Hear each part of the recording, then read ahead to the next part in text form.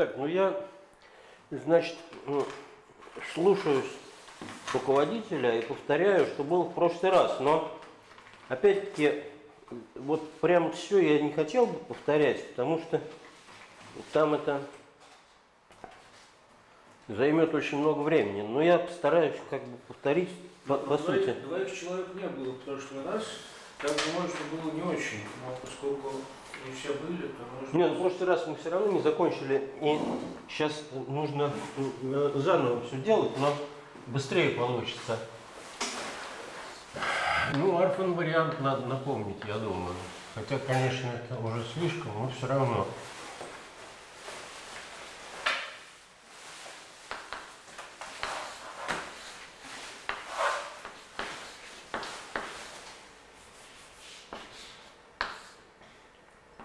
Значит, здесь м, представлено погружениями. Значит, я написал такую размерность, которая исключительно интересна, но в принципе это может быть любая размерность, равная 2 по модулю 4.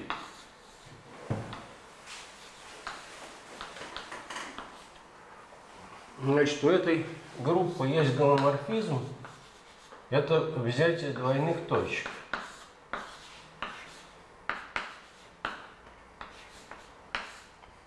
Ну, тут представляется G, значит, n это многообразие двойных точек. Оно вообще-то погружено в то же самое евклидово пространство, но по принципу компрессии у этого погружения есть нормальное э, сечение кси. Э, Это значит, здесь я э, ошибся, потому что на единицу меньше. Вот. Ну, значит, это сам пересечение вот этого. И можно, значит, э, сделать, ну, я здесь поставлю, допустим, G штрих, а вот G это непосредственно вот так вот. На единицу меньшей размерности. Теперь, допустим, у меня есть э, в этой группе элемент x. Э, такой, что...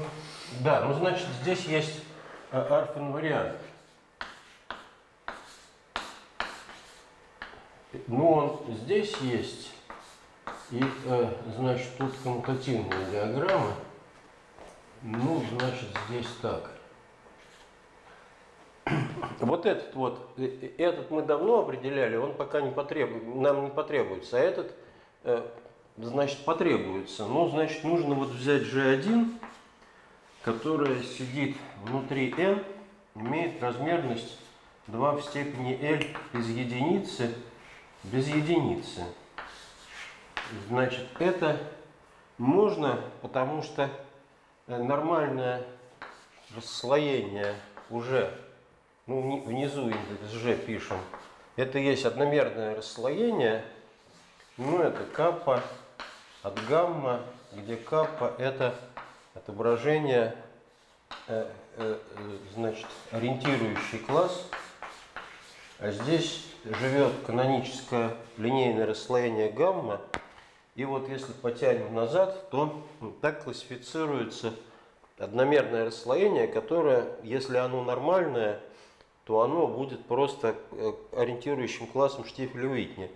Ну а в коразмерности какой здесь 2 в степени L минус 1 минус 2, это значит нужно взять здесь RP бесконечность минус 2 в степени L минус 1 плюс 2. И вот полный прообраз будет как раз N1. Он будет иметь размерность такую, как нужно. Значит,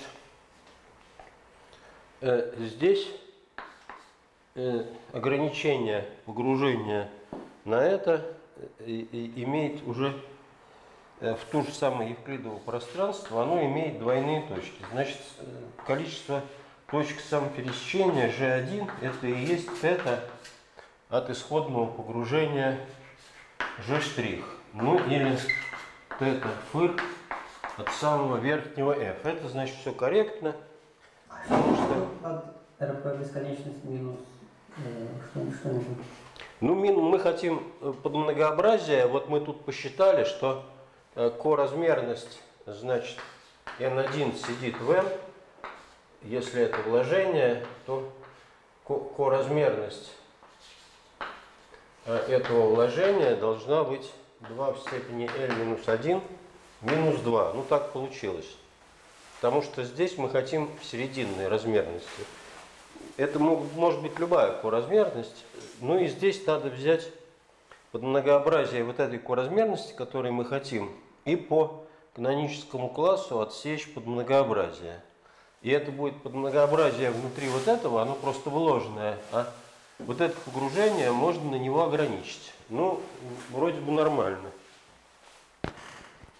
Э, Нет, ну нормально, да, я просто не понимаю, что имеется в виду под э, э, вот, вот в самом правом, в самой правой части доски РП бесконечность минус там какое-то конечное число. Это вообще Ну, n большое, хорошо, значит n много больше всего, что здесь написано. Много больше 2 в степени l. Э, Ну, можно считать, что это конечный остров. Теперь нет вопросов. А, хорошо, да. Ну, надо И- брать, надо брать прямой предел, но это не обязательно. А, э, окей, ну хорошо, хорошо, да. И, и дальше N1 это просто по определению прообраз Да, кусочка.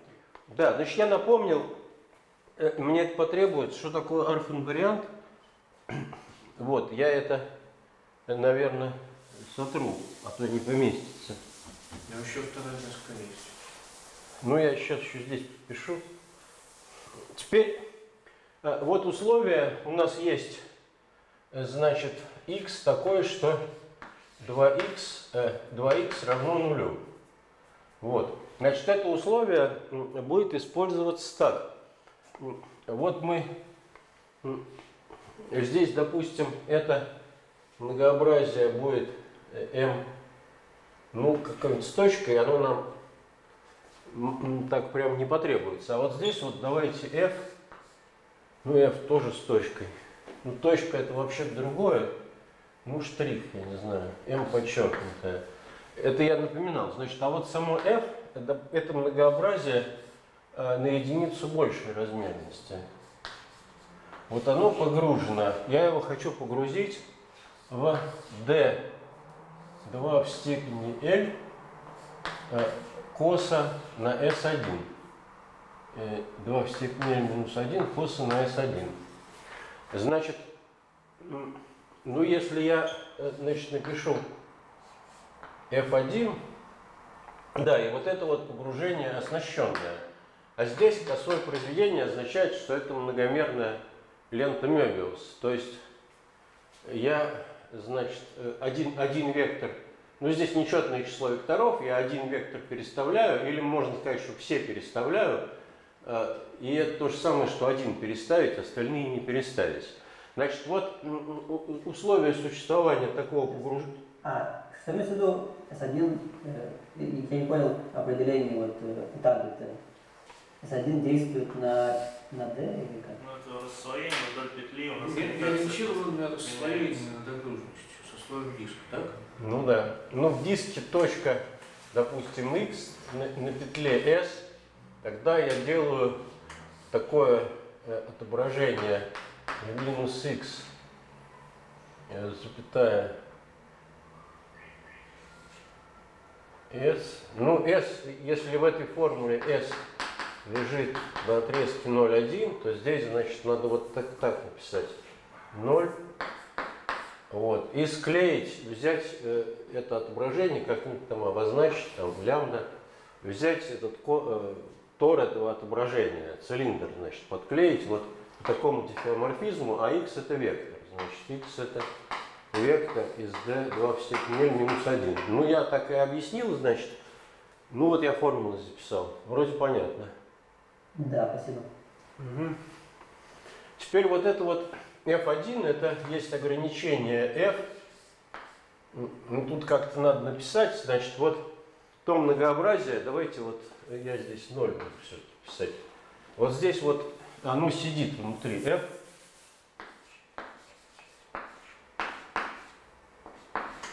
Оно идет в d2 в степени L без единицы.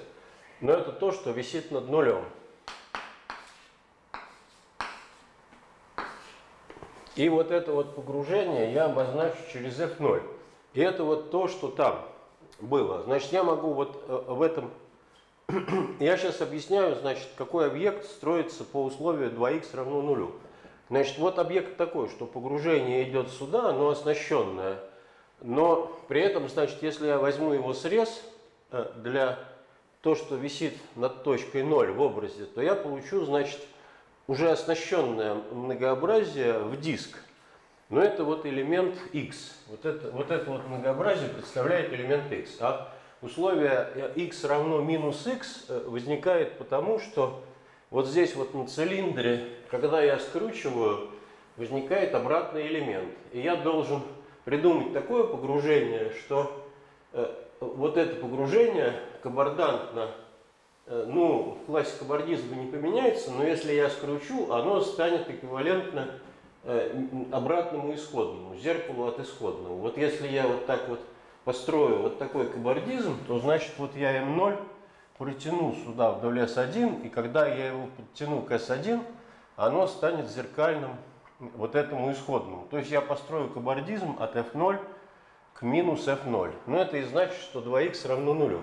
Вот такой объект – значит, строится по условию. Теперь я напоминаю, ну вроде понятно. Теперь я напоминаю теорему Брауна-Петерсона, которую я буду доказывать. Но вы пока не построили этот кабардизм? Или... Нет, вроде построил. Хорошо, ну, нет, что- значит, что что значит построил? Он существует в силу того, что А, вот тут есть такое уравнение. Я его действительно не построил, я его буду строить, ну, после того, как я теорему Брауна-Петерсона докажу. Но я ее буду иллюстрировать, потому что это важно. Вот. А пока что я его э, абстрактно э, имею. Ну, может, э, каких-то размерностях такого вообще не существует, но во всяком случае я предположил, что такое есть. Теперь я хочу объяснить, в чем эта теорема состоит. Ну вот я, давайте, значит, я рассмотрю вот это вот погружение. У него возьму двойные точки, я буду это G опять писать. Но это значит э, немножко не то G, которое там. Тут везде нолики надо ставить.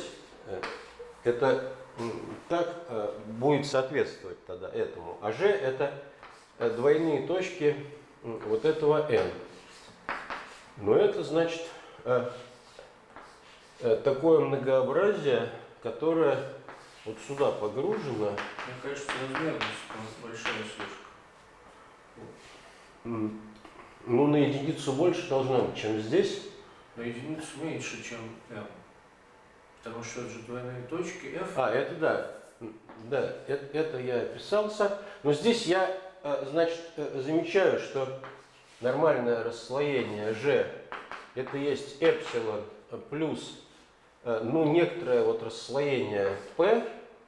P это классификация двулистного накрытия канонического. Значит, над n есть каноническое двулистное накрытие, вот это вот погружено многообразие m, а это абстрактное многообразие самопересечения. Вот это двулистное накрытие я обозначил через P. Ну и класс м, линейное расслоение, ассоциированное с этим классом, с этим накрытием, пусть тоже будет P. Вот нормальное расслоение это эпсилон плюс P, потому что вот это вот погружение было оснащенное. Но если я хочу э, поменьше сделать, то вот этот эпсилон могу, исче- могу убрать и переобозначить, переобозначать я тут особо ничего не буду, просто сотру тут двоечку. Вот, и это тогда будет э, э, нормальное расслоение, вот здесь я эпсилон сотру. Вот.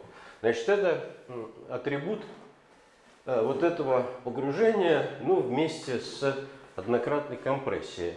И вот я, значит, э, хочу э, выписать такое число p в степени 2l минус 2. Проинтегрировать хочу по фундаментальному классу. Э, Но это число, э, которое я беру по модулю 2. И вот я э, говорю, что ну как-то его надо обозначить, там, пусть это будет это маленькое. Это маленькое тоже атрибуты f и g. Э, Вот теорема Брауна-Петерсона говорит, что если θ от f0 равняется единице, то из этого вытекает, что θ маленькая от f равняется единице. И это, э, мне кажется, э, не очень сложная теорема, но содержательная. И я сейчас ее буду доказывать. Вот значит, если... Это не равносильно? Да, это равносильно теореме Брауна-Петерсона, но в этом... Слушайте, обра- обратно тоже Ну, верно? Да, обратно верно, но обратно я, значит, не буду доказывать. Ну, если, значит, вы спросите, как Браун Петерсон доказывал, то я скажу через вторичные когмологические операции. А вторичные когмологические операции требуют более тонкого подхода, э, в принципе, ну, они, они требуют теорему от Джойни. Значит, из теоремы от Джойни, конечно, это все следует, но теорему от Джойни, значит, пока не удалось доказать. Это я не буду ей пользоваться. И вообще это, э, значит, в эту, вот в то, что я рассказываю, теорема Джойни не входит, она в стороне.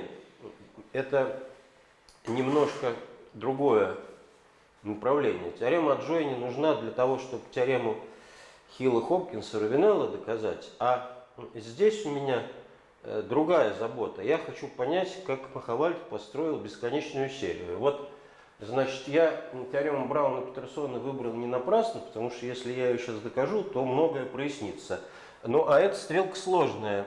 Они, э, ее нельзя вывести из теоремы Адамса, ее можно доказать, ее можно пропустить через доказательства теоремы Адамса. Они так и сделали, но доказательство теоремы Адамса это как раз то, к чему мы стремимся и чего мы хотим понять. И без Джойна тут э, ничего не сделаешь. Поэтому Э, Значит, верно, Сергей Александрович сказал, что стрелка в обе стороны, но в эту сторону простая, а в эту сложная. Ну вот, но, но вот эта вот простая, зато она под философию подпадает. Я, если мне удастся, значит, это все сделать, то Но, Будет Петр успех. Михайлович, все, все это правильно написано, потому что это похоже на вариант Хоффа стабильный. А у вас более сложный должен.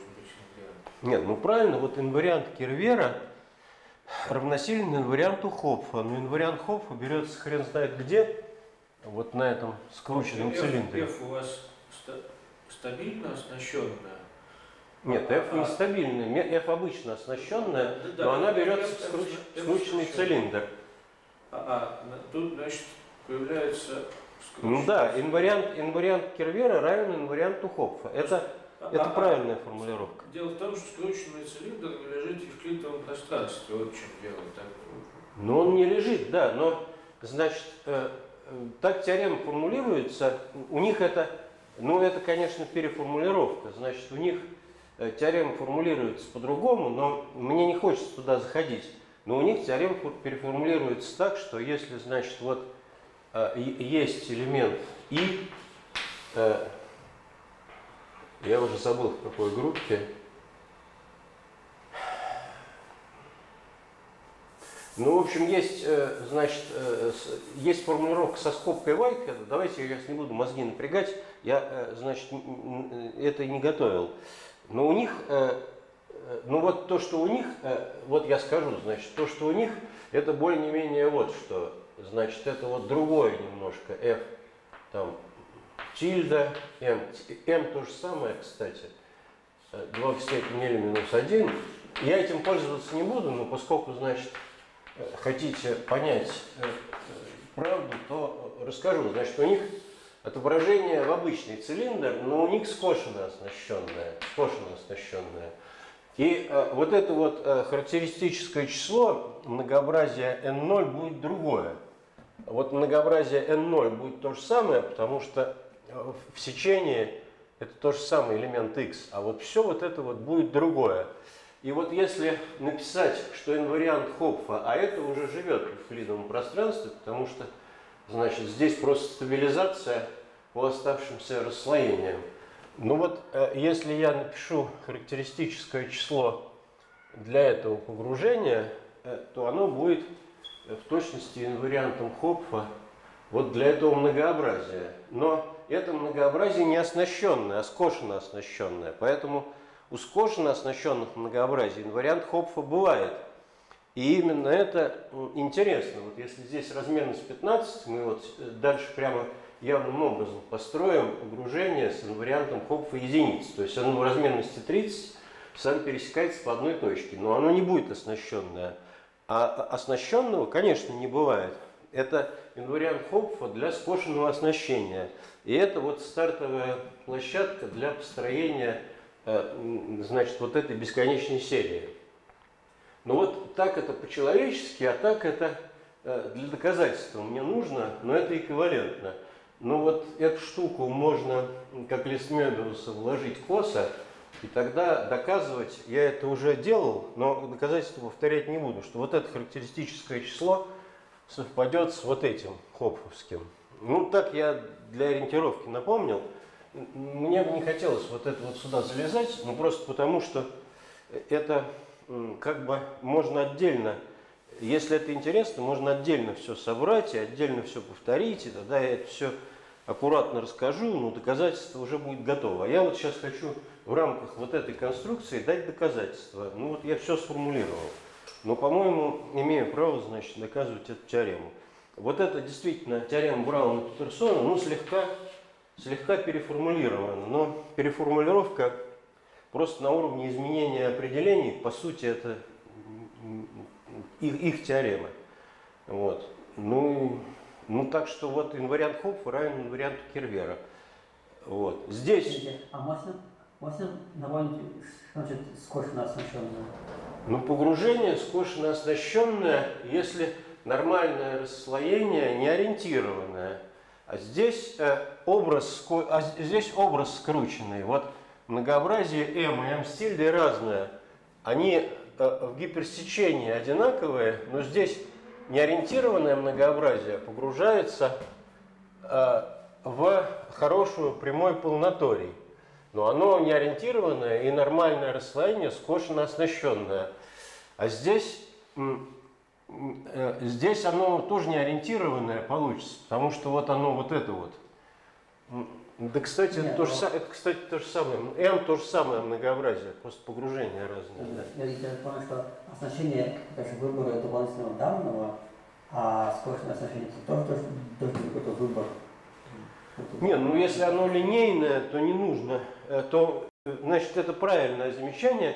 И оснащенное, и скошенно это есть некоторая дополнительная структура, изоморфизм нормального расслоения с, с там прямой суммой, либо тривиальных расслоений, либо линейных, изоморфных. Но этот изоморфизм не нужно выписывать, если погружение в коразмерности 1. В коразмерности 1 он как бы однозначно достраивается, его не нужно вписывать в определение. Но в коразмерности 2, да, уже нужно. Э, это будет э, зависеть от того, как я задам этот изоморфизм э, с расщеплением в прямую сумму. Элемент будет зависеть от того, а здесь не зависит. То есть в нашем случае это просто свойство, а не, не структура. Ну это, ну это как бы простое свойство. В нашем случае в структуру вписывать не обязательно. Да. да ну из-за того, что из-за того, что там нет, нет, нет возможности ошибиться, там всего один э, линейное расслоение, и что там его вписывать, оно уже само расщеплено в сумму Витни. Ну, в принципе, там два. Да, ну там есть такая лемма, что если я возьму два разных, то они как элемент группы кабардизма будут одинаковые. Но это надо, надо доказывать, да. А, Есть такая лемма, а. да. Ну ровно, ну ровно, собственно, ну для оснащения это, собственно, неверно. Значит, когда я беру другой вектор оснащения, да, у меня ориентация меняется, ориентация многообразия меняется, я получаю обратный элемент. Я, кстати, тут этим пользовался. Ну а там я получаю тот же самый элемент. Значит, есть, да, такой момент – странно немножко. Но это э, ничего страшного, значит, тут правильно. Да, Пока это, все правильно. Да, да, ничего страшного. А еще если вот э, P это линейное расслоение. Ну да, а, P это, P это и накрытие, и линейное расслоение, его характеристический класс. Если вам это принципиально не нравится, не, давайте. Не, не, не, ну я, я это самое у меня это в процессоре так забито, и когда кто-то начнет со мной работать, он может все обозначения изменить, я ему буду очень благодарен, но от меня это не нужно требовать, потому что это самое, ну, и так тут э, давайте оставим. Нет, нет. Три в одном, три в одном, да. Да, да. Вот, а последнее вот, это вот э, П это то самое, что класс Штифеля Уитни. Ну да, П это класс Штифеля Уитни по совмести... Нет, П это не класс Штифеля Уитни, потому что класс Штифеля Уитни вот здесь уже был. Я его как-то, он... э, да, да, да, да, да, да. Э, значит, класс Штифеля Уитни это отдельно. Вот я- он всегда каппа обозначается, он всегда есть проекция вот на эту S1 для M. Теперь, когда я беру для P, то класс Штифеля Уитни тут э, э, имеется в виду ориентирующий класс многообразие n. Но он, Первый, первый класс Штефеля. да, первый класс, но он есть, э, ну, но он есть сумма вот этого p э, с вот этим, с этой проекцией. Ну так что здесь p это не класс Штифеля Уитни. Вот здесь, а, сюда я обещал не заходить. Это класс, класс линейного слоения. Да, но не, ори- но не ориентирующий класс, да. Ориентирующий класс, значит, P крест каппа. Ну ничего страшного. Вот W1 это P крест каппа. А Кап- вот там было написано эпсилон плюс P, я чуть не уловил, куда делается. наверное. Эпсилон, эпсилон, э, вот куда делось. Здесь была единица, здесь стала двойка. Я всегда, когда в образе, когда э, погружение имеет сечение, я его всегда делаю вертикальным. Ну, это просто одномерное Да. отщепили тривиальное, да? Да, но его надо сначала сделать вертикальным, это некоторая работа. Но это называется принцип компрессии, принцип вертикального, вертикальный, ну, принцип Хирша. Значит, в работе Хирш там какие-то довольно простые факты, но они все очень э, правильно сформулированы. Вот там есть два факта. Первый, что можно скомпрессировать вертикальное погружение, а второе, то, что, ну, второе, вот, значит, будет э, при, принцип плотности. И, и то, и другое очень важно, но дальше этих фактов э, Хирш как бы не пошел. И он как это написал там в 60-м году, и значит, с тех пор вот никто этим не заинтересовался. Но вот он так написал, что именно эти два факта э, лежат в основе теории. Почему же никто не заинтересовался? Мне кажется, все время вот вы, вы тоже используете эти Нет, ну, ты- ну, я- Ну, не только вы. Я тоже использую. Ну хорошо, значит я... Ну хорошо, ладно, давайте дальше двигаться, а то мы так тут немножко это самое долго. Можно, да, Миша, дальше двигаться? Да. Хорошо. Значит, я теперь формулирую, вот здесь я это стираю, и вот здесь я строю погружение G1. Ну, здесь э, э, погружение G1 такое. Вот я беру э, такое вот тут вот, э, э, значит, многообразие, которое мне нравится, оно тут будет пересекаться по кривой. Вот, а нет, ну N1, наверное, плохо, N hat, потому что бывает еще N0 hat, который живет в N0. А Вот N0 hat это опять все, значит, э, то, что попало э, в слой над точкой. И если, ну вот эту штуку здесь я беру двойственный, значит, N hat внутри N э, двойственно вот э, этому классу P в степени э, 2L без единицы минус 1. Вот.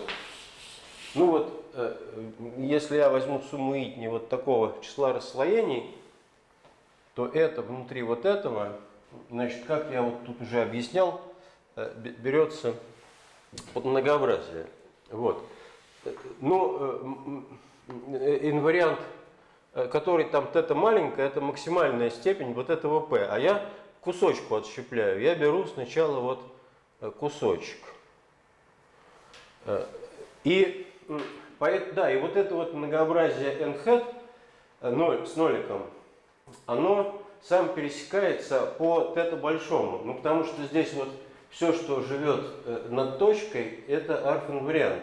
Значит, если я дошел до многообразия половинной размерности,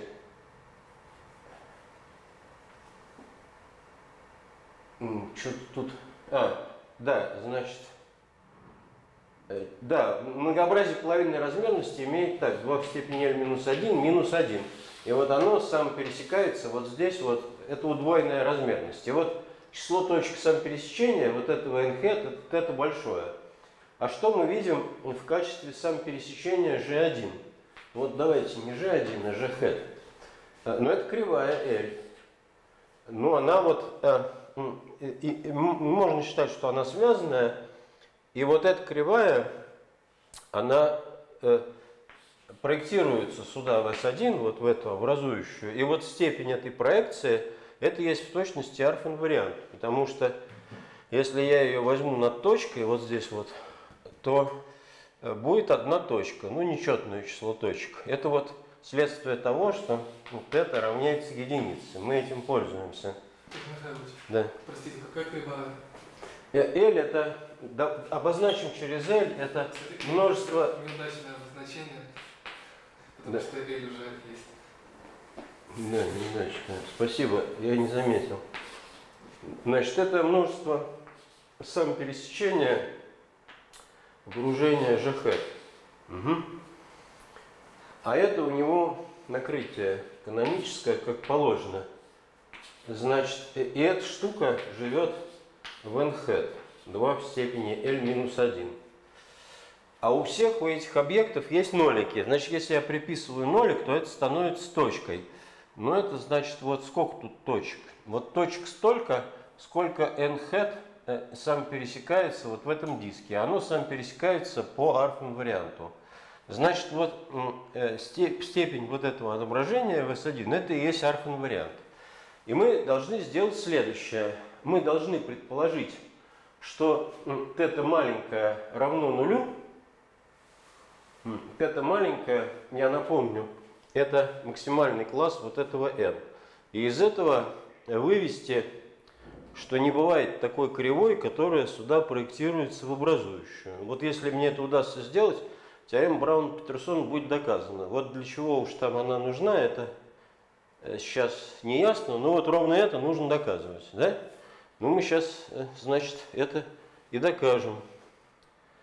Значит, как я использую то, что э, p в максимальной степени равно нулю. Но это вот в прошлый раз было. Значит, я э, взял вот это вот многообразие n, 2 в степени l минус 2. И я сюда построил компрессию вот по классу p коразмерность 1, 2 в степени l минус 3. Это э, значит, была лемма, там было две леммы, лемма 1, лемма 2. Значит, лемма, это была лемма 1, мы ее доказали, что вот условие м, это маленькое от g э, равняется нулю, влечет, э, что класс p можно сдавить на единицу меньшей размерности. Это не всегда бывает, но в данном случае, значит, тут все, получается. Хорошо, вот этим я буду пользоваться. Ну, а для n1, так, для n hat тогда условие такое, значит, здесь 2 в степени l минус 1, вот оно сдавливается, ну, опять-таки по p, на rp 2 в степени l минус 1 минус 1. Вот. А что это такое за э, замечательное многообразие? Это многообразие, которое вкладывается в евклидово пространство размерности 2 в степени L без 4. Значит, это бывает, когда L больше либо равно тройке, э, для... э, нет, это бывает, когда L больше либо равно четверке. Да, больше либо равно тройке. Ну, потому что, значит, здесь 7, 7, а у 7, у 7, значит, уже можно сюда. Здесь это уд- удвоенная размерность минус 2. Вот. Ну и так можно сделать. Так, это вложение такое можно построить. Оно явно строится, это вложение, не погружение. И в этом сейчас будет контроль. Семерка это L равно 4. Ну вот если L равно 4, то здесь будет семерка. Да, да, да, да, да, да. И я имел в виду L минус 1, да, правильно. Значит, для, для тройки уже не годится, потому что тут не хватает этих самых э, разрядов. Ну а для э, больших L э, этих разрядов можно здесь усиливать, но это сейчас нам не нужно. Значит, вот в таком ключевом случае здесь получается точно то, что нам требуется. Теперь я это все сюда вписываю. Э, Вот каким макаром. Да, L жалко я стер, но ничего. Значит, здесь, здесь вот тогда будет так. Э, зде- Здесь тогда будет D 2 L без 4 крест S1, уже прямо. Значит, я хочу, чтобы вот это вложение имело еще эпсилон запас. Значит, смотрите, тут э, коразмерность 2 я взял, но одна скрученная. Скрученная нам не нужно. Нам нужно пряменькая. Э, Вот это пряменькая, значит, если я сделаю так, то получается. Ну, а вот по Что такое эпсилон? эпсилон это линей- линейное тривиальное сечение. Ну, сечение. Я его а, эпсилон. второе, а второе не тривиальное. Да, второе нетривиальное, оно нам не потребуется. Э, Значит, а здесь тогда по теореме Махавальда РП 2 в степени L без единицы, без единицы крест S1 помещается. Вот. А здесь у меня, видите, ретракция. Вот она. Э, вот. Вот она. Вот сюда. Вот. Значит, вот она вот сюда вот э, зашла, ну а по S1 она там как-то размазалась, я не знаю, я ее не менял. Вот я взял вот это отображение. Э, Ну а здесь у меня погружение. Так вот, это погружение G, head, оно э, по принципу компрессии Хирша может быть сделано сколь угодно близко вот к этой композиции. Значит, мы берем вот эту композицию и э, э, э, внутри вот этого, э, значит, внутри вот этого многообразия, не вот этого, а вот внутри вот этого, Ж у меня вот сюда бьет, извините. Э, э, Это стрелку я неправильно рисовал. Ж вот сюда бьет. Это, кстати, сейчас уже можно стереть, оно нам не потребуется. Вот. Значит, Ж бьет сюда, Ж хэт. И вот, а здесь у меня такая диаграммка. И вот я могу здесь сделать отображение по вот тому, что оно существует, и сюда это все вложить, и э, очень мало пошевелить это отображение, и жахет сделать очень близким вот к этой композиции. Вот этим я сейчас буду пользоваться. Ну, из этого получится следующее, что вот моя кривая L, которая, значит, вот есть э, э, э, в точке самопересечения вот этого ЖХ. Вот она живет вот здесь, она э, довольно-таки специфическая. Ну, над ней вот, она же есть э, два листа, и контроль будет э, вот для чего нужен. Если бы не было контроля, то вот эти вот э, прообразы, они бы могли бы вести себя так. Они бы могли, не один мог бы неконтролируемо, значит, переставиться, а второй мог бы не переставиться. Ну и листы могли переставиться. То есть была бы диэдральная структура в нормальном расслоении. А здесь такого быть не может. Потому что как только один вектор, ну вот здесь вот два, два берега растут, они на. Э, Вот я нарисовал там первый берег и второй, а вот эта точка на L. Вот если этот берег э, вдруг поменял ориентацию, то это обязательно тоже поменяет ориентацию, потому что вот эта точка, она контролируется здесь. А подме- подменная ориентация – это есть просто обход вдоль петли, образующий вот на этом многообразии. Так вот эти точки, они же одновременно, они обе сюда спроектируются, это значит э, принцип контроля. Если одна поменяет коориентацию, то другая тоже обязательно поменяет. А так, что одна поменяла, а другая не поменяла, вот такого не бывает. Могут быть маленькие петельки, в которых одна поменяла, а другая не поменяла. Но они двойные могут.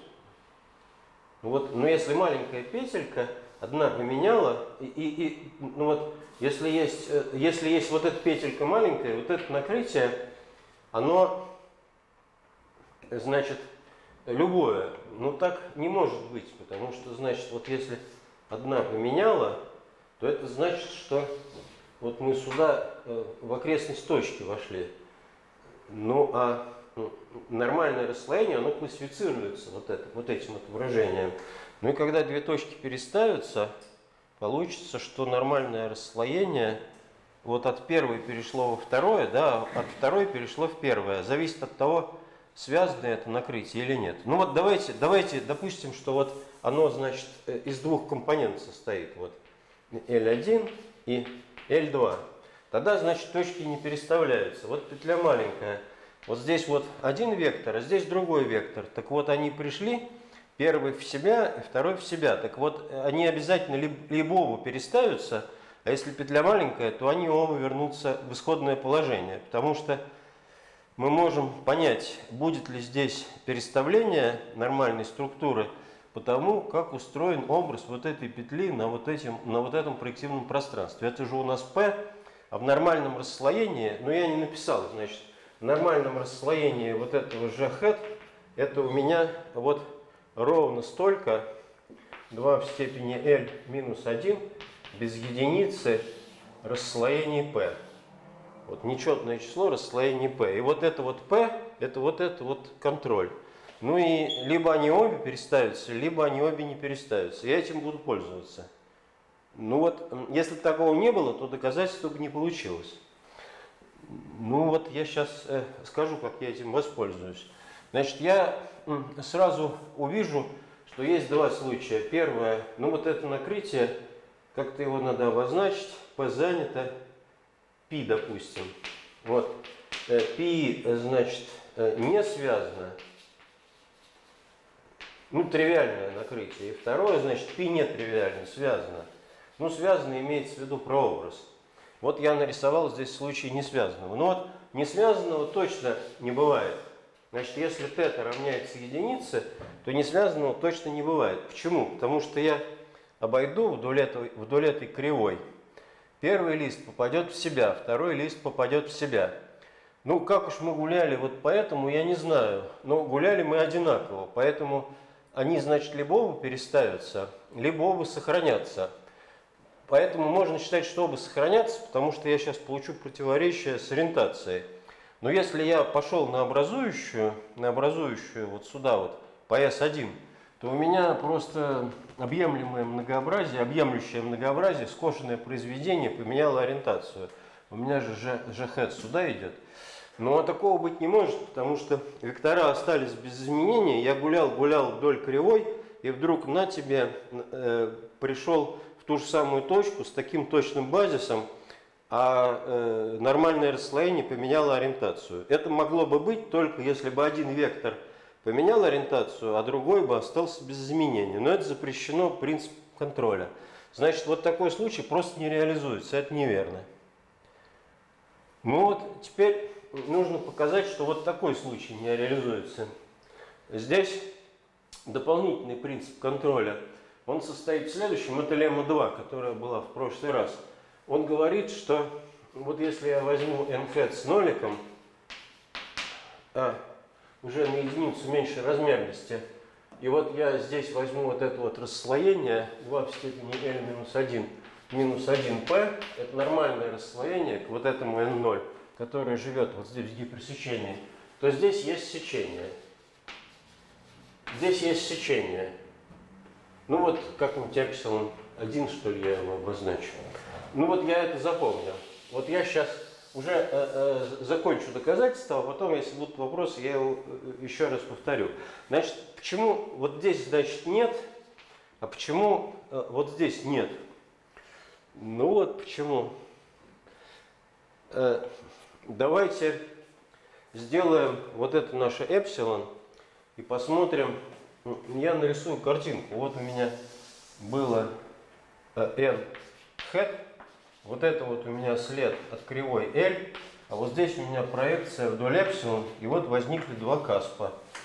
А это э, пленочка, которая, значит, тут, э, вот этот касп кабардантин этой точке, этот касп кабардантин вот этой точке. Я вот утверждаю, сейчас это я аккуратно скажу, что это кабардизм ориентированный. Вот эти точки, они ведь как устроены? Вот если я возьму одну точку и скажу, что там одна точка положительная, я обойду вот по всей кривой L, попаду во вторую точку. Вторая точка будет, э, значит, тоже положительной, потому что я э, каждый раз вот эти вот P вот так вот сохранял. Когда я пошел один раз, они поменялись. Э, Первый, э, ну, первый, значит, э, их нечетное число, вот 2 в степени L минус 1. Поэтому, значит, в, корень, в нормальном расслоении к L Коориентация поменялась, но она поменялась и глобально, потому что вот здесь вот был лист Мебиуса. Поэтому все сохранилось. Значит, вот если... Петр Михайлович, простите, я не понимаю эту картинку. Мгм. Что, что это за восьмерка такая? Ну, э, восьмерка это многообразие n hat. Я его должен как-то нарисовать. Но вот это многообразие, э, э, извините, n hat 0. Я нарисовал срез многообразия, которое вот здесь в диске. Но я считаю, что оно одномерное, но вообще оно, конечно, не одномерное. Ну вот, L, L это кривая, она пересекает этот Да. по точке. Ну вот она, есть- она вот эта вот точка, вот эта L, вот она здесь нарисована. Вот. Ну а так это вот так вот от- движется кривая. И вот вдоль S1 она движется. Теперь здесь есть эпсилон. Поэтому вот есть такая картинка, что здесь есть каспы. Ну вот, э, значит, противоречие будет вот в чем. Что за каспа? Погружение. Ну, если я его спроектирую вдоль эпсилон, то оно уже не будет погружения.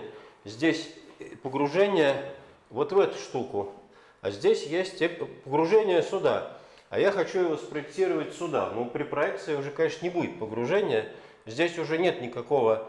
Здесь нормальная трубка, вот она скрученная, и э, при проекции уже не будет погружения. Погружение будет только на уровне N0. Вот на уровне N0 есть сечение, оно по принципу Хирша вертикальное, и вот этих каспов э, э, на уровне N0 не будет. Но я хочу сказать следующее, что вот эта кривая двукратно обошла S, потому что в двулистом накрытии, и вот этот кабардизм ориентированный. Получилось, что вот эта вот кривая каспов является кабардантной э, двулистному накрытию на дель. Двулистое накрытие на дель это обязательно четный цикл вдоль S. Почему у вас кривая каспов какая-то вот такая, как вы нарисовали? Нет, ну она вот так вот движется, каспы там переставляют. Почему она такая? Ну, вы нарисовали восьмерку, а на самом деле... Нет, нет, ну кривая, не, ну конечно, ну конечно эта восьмерка может бифурцироваться, но я там могу ее как-то соединять ленточками, но мне это не нужно. Ну, кривая есть кривая, однобарометрическое семейство кривых, на каждой кривой есть касп.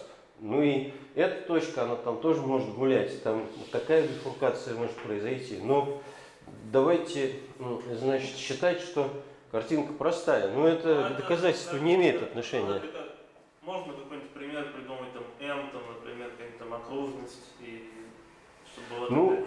Ну, трудно, потому что n это, э, значит, размерность 8 имеет. Э, Ну, э, Тут у меня n0 имеет размерность 7, да? Это 8. Ну, э, 7 это окружность, да. 7 это окружность, а 8 это поверхность. Ну вот, э, значит, действительно, э, э, значит, слой это кривая, вот когда это н- нельзя, но если L равняется двойке, то вот это поверхность. И вот эта вот поверхность, вот она здесь живет в неориентированной трубе. Ну, конечно, она не такая, но это я ее типичный срез нарисовал, кривая. Сам пересекается по точке. Эти точки бегают, эти каспы тоже бегают. Но я э, хочу сказать следующее, что кабардизм вот этих каспов к этой, к этой двулистной, к двулистному накрытию вот этой точки ориентированный. Ну, я сейчас объясню, почему. Ну, раз он ориентированный, то вот эти каспы не могут исчезнуть, потому что они э, э, со степенью 2 проектируются вот сюда на S1. Что это за кабардизм? Откуда он взялся? Ну, вот он тут нарисован. Ну, я, вижу, что, я вижу, что на картинке есть кабардизм. Ну, А без картинки его можно? Нет, ну можно, да, но вот я взял касп всех проекций. Вот эта верхняя дуга, вот эта верхняя дуга, это вот на, на проекции вот эта дуга э, склеивается с этой. Поверхность, вот у меня э, здесь на картинке, это тут Может, как... мы введем буквы для всех объектов, напишем утверждение помощью этих букв. Ну, буквы я ввел. Чего? Вот N0, это... Ну вот э, здесь э, э, вот, вот эта вот э, многомерная штука, а кабардизм, э, он такой как нарисован. Вот я взял проекцию N0 на вот сюда вот. Ну, я имею в виду там, буквы для кабардизма, буквы для того, Ну вот проект, вот проект, вот проекция, значит, здесь это же head, вот это вот отображение. Сначала идем же head, потом спускаемся. Вот здесь проекция, пи что ли занято. Ой, как проекция обозначать, не знаю, P красивая. Ну вот ввел такую букву для вот такой проекции. Но э, индекс нолик означает, что я ее отследил э, над вот этим вот сечением, а она однопараметрическая. То есть я вот эту букву буду использовать э, в двух случаях. Когда я беру весь кабардизм и когда я беру его срезку в диске. Ну вот, что получается в диске? Получается в диске кривая. Ну вообще она не кривая, а семимерное многообразие. А вот то, что, э, значит, вот эти каспы, они одномерные на этом семимерном многообразии. И вот эти вот две кривые, это просто, э, ну вот проекция вот этого семимерного многообразия, она идет э, в 13, потому что здесь вот э, 13 получается. Сейчас, ну давайте посчитаем. Значит, здесь у меня э, м, 16 минус 4 это 14, но поскольку в гиперсечении, поскольку эпсилон понизил размерность, то 13. Вот у меня 7 в 13. Ну 7 в 13 это такая штука, которая сам пересекается по кривой. Да? 7 плюс 7 14, а у меня 13. Но вот эта кривая, она устроена так. Вот она кончается на каспе, а сама вот она содержит вот эту точку самопересечения, которая и была. Ну вот на этой картинке эта кривая, конечно, вот просто тут нарисована, но тут размерности поджимает. Вот вся восьмерка проектируется вот на эту линию, и кривая это просто вот этот отрезок. На этом отрезке была вот уже точка на кривой L, и появились два конца. И вот эта вот штука крутится, и э, значит, э, при, кажд- при каждом значении вот параметра на S получается такая картинка.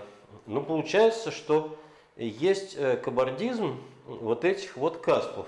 Кабардизм устроен так. Это семейство верхних, верхних прообразов относительно вот этой вот проекции, которую я тут пи о хэт нарисовал. Вот по- поверхность пи красивая, вот она значит кабардизм. Ну теперь вот э, я говорю, что это ориентированный кабардизм, вот от двулистного накрытия вот к этой точке, вот здесь есть ориентация и здесь есть ориентация. Это просто, ну вот если сейчас это условие ориентированности пропустить, то все есть доказательства. Потому что вот этот цикл удвоенный, значит этот цикл тоже должен быть удвоенный. И рваться он не может, но он рвется, потому что по лемме 2 есть сечение э, вот у этой вот, вот, вот сечение, вот сечение. Ну, значит, э, он э, нулевой цикл, а если бы, ну, а нулевым он быть не может, потому что вот этот не нулевой. Ну, вот все доказательства. Осталось только доказать, что кабардизм ориентированный. Ну, так. Ну, это Ну, просто. Петр Михайлович, то, что вы рассказываете, по-моему, Сказки. убедительно, но я вот припоминаю, что у Макрони была такая лемма, что действительно, но не Каспа, а как они называются, складки, кабардантная. э, Да. ну, Э, Да, это, множество. это, это трюк Сюча, который он украл у Кошорки. И, значит, Ну, в общем, Кошорки... Было, было такое. Было да. такое. Но, но как именно это формулируется, вот вы там сейчас продемонстрируем. Нет, ну они заметили, что э, двулистное накрытие над э, многообразием самопересечения кабардант на кривой Каспов.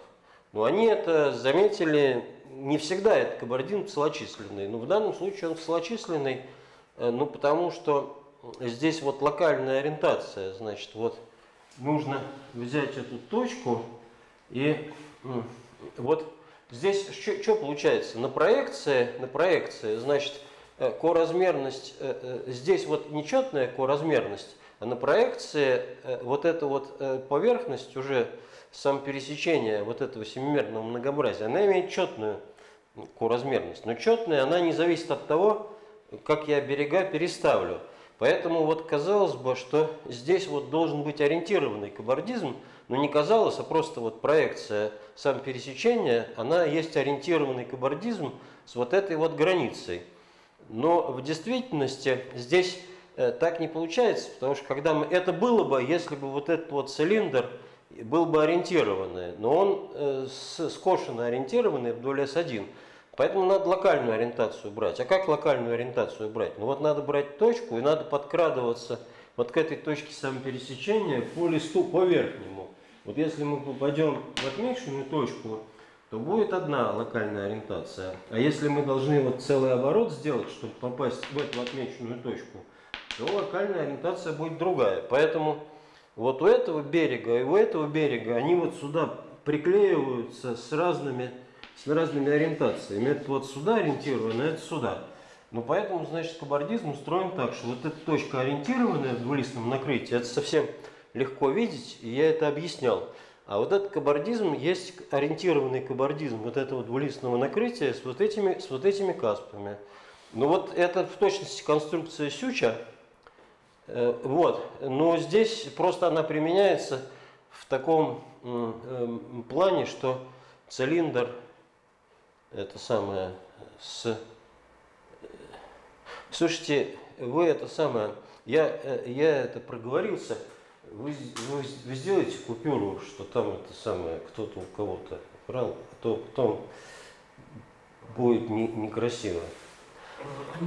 Вот, ну, ну, в общем, ну, в общем, я не знаю, давайте это все аккуратно разберем, но вот идею я сказал. Идея, значит, Сюча, а воплощение надеюсь, правильное, потому что вот как, как, как определять, значит, как определять кабардизм, я сказал. Собираем кривую, э, на, на, на проекции видна поверхность. Граница этой поверхности это вот эта вот кривая Каспов.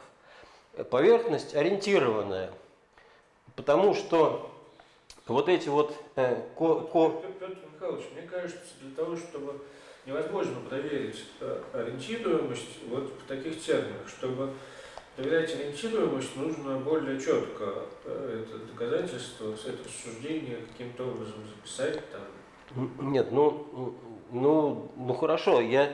Ну, то есть можно, можно значит, сказать, что это место не проверено и пойти дальше. Но предыдущее место тоже я не понял, честно говоря. Какое? Нет, ну так это все... Нет, это... Нет, давайте проверять. Предыдущему можно позже вернуться.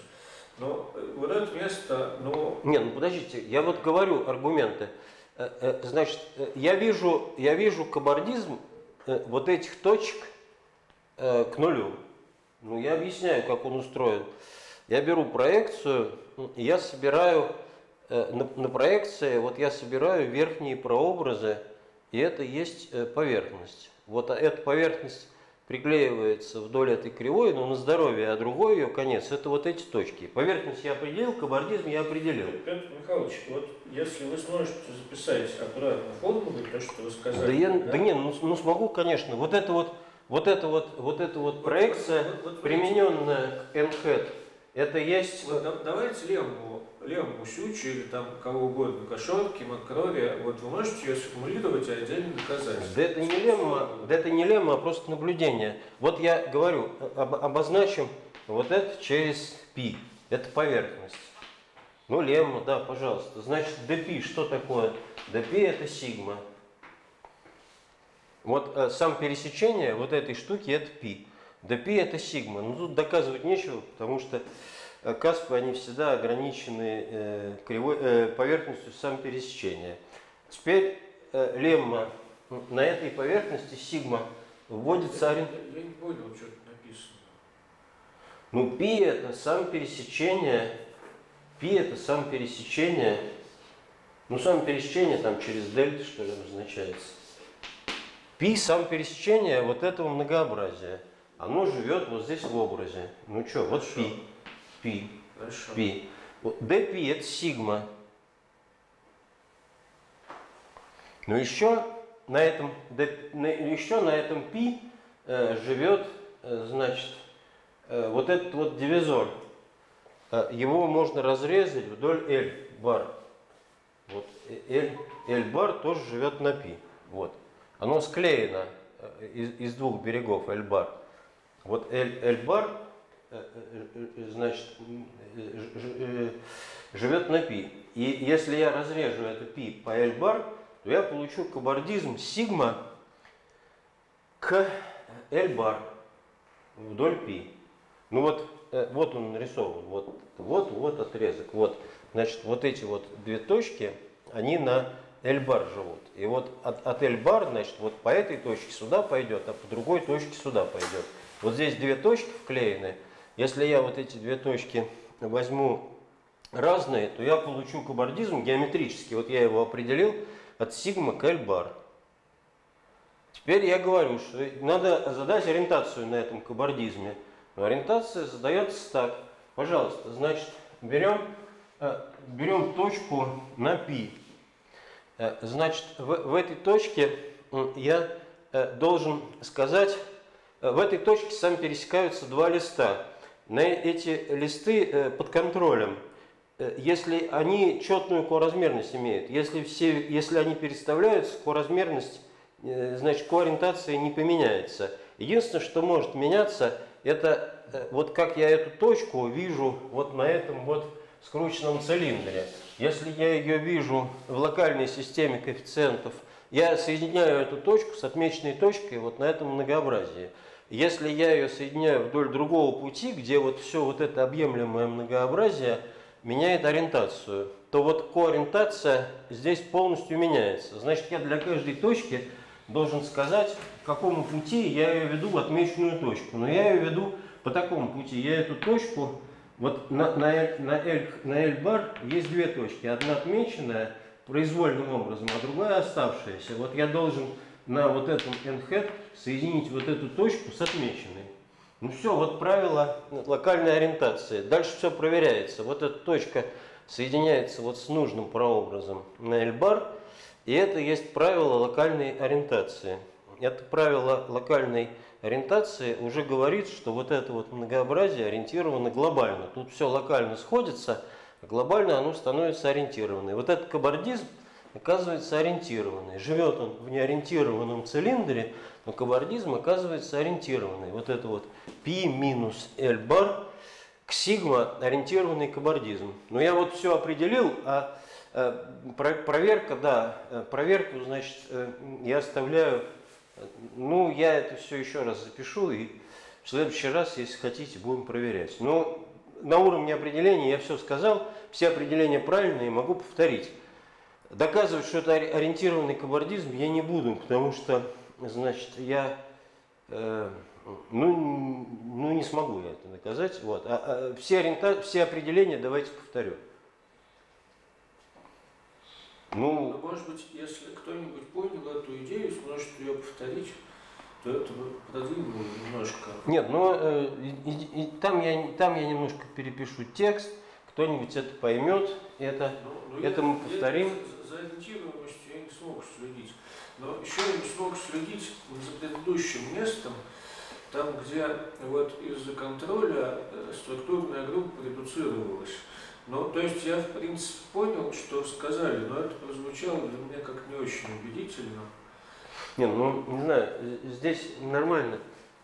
Хорошая, это такая конструкция, Но которая... то, что, то, что, значит, если это э, вы идете вокруг какой-то, по какой-то петле, вот там на, на самом пересечении, эта петля рядом с АКП каким-то там 2L минус 1, минус 1, э, Ну, оно, но она вот здесь вот идет вдоль петли. И у этой петли два прообраза.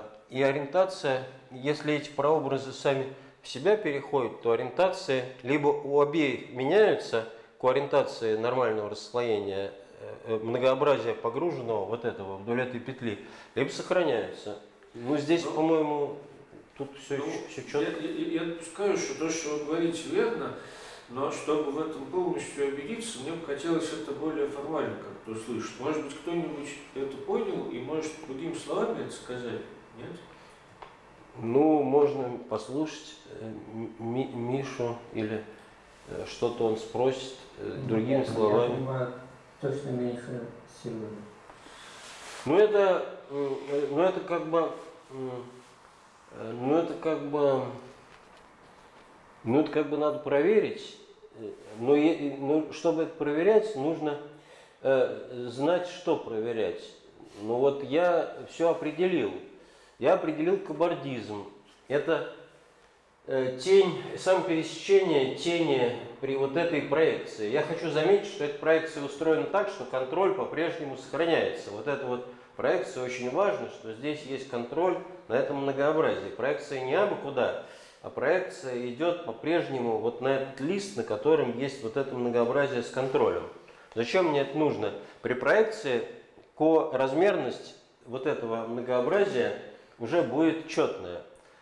Листы не могут э, э, на этой проекции, они, э, э, если я один лист поменяю ориентацию, то у второго тоже поменяется. Вот если бы не было этого контроля, могло бы случиться так, что один лист поменял ориентацию, другой не поменял. Такого быть не может. Можете подробнее это место еще раз объяснить, почему такого быть не может? Ну, потому что тогда была бы петля, которая э, вот, э, ну вот э, что это значит? Это значит, что вот я Запишите на, на доске просто утверждение, там, с помощью предложений, букв, тогда все поймут.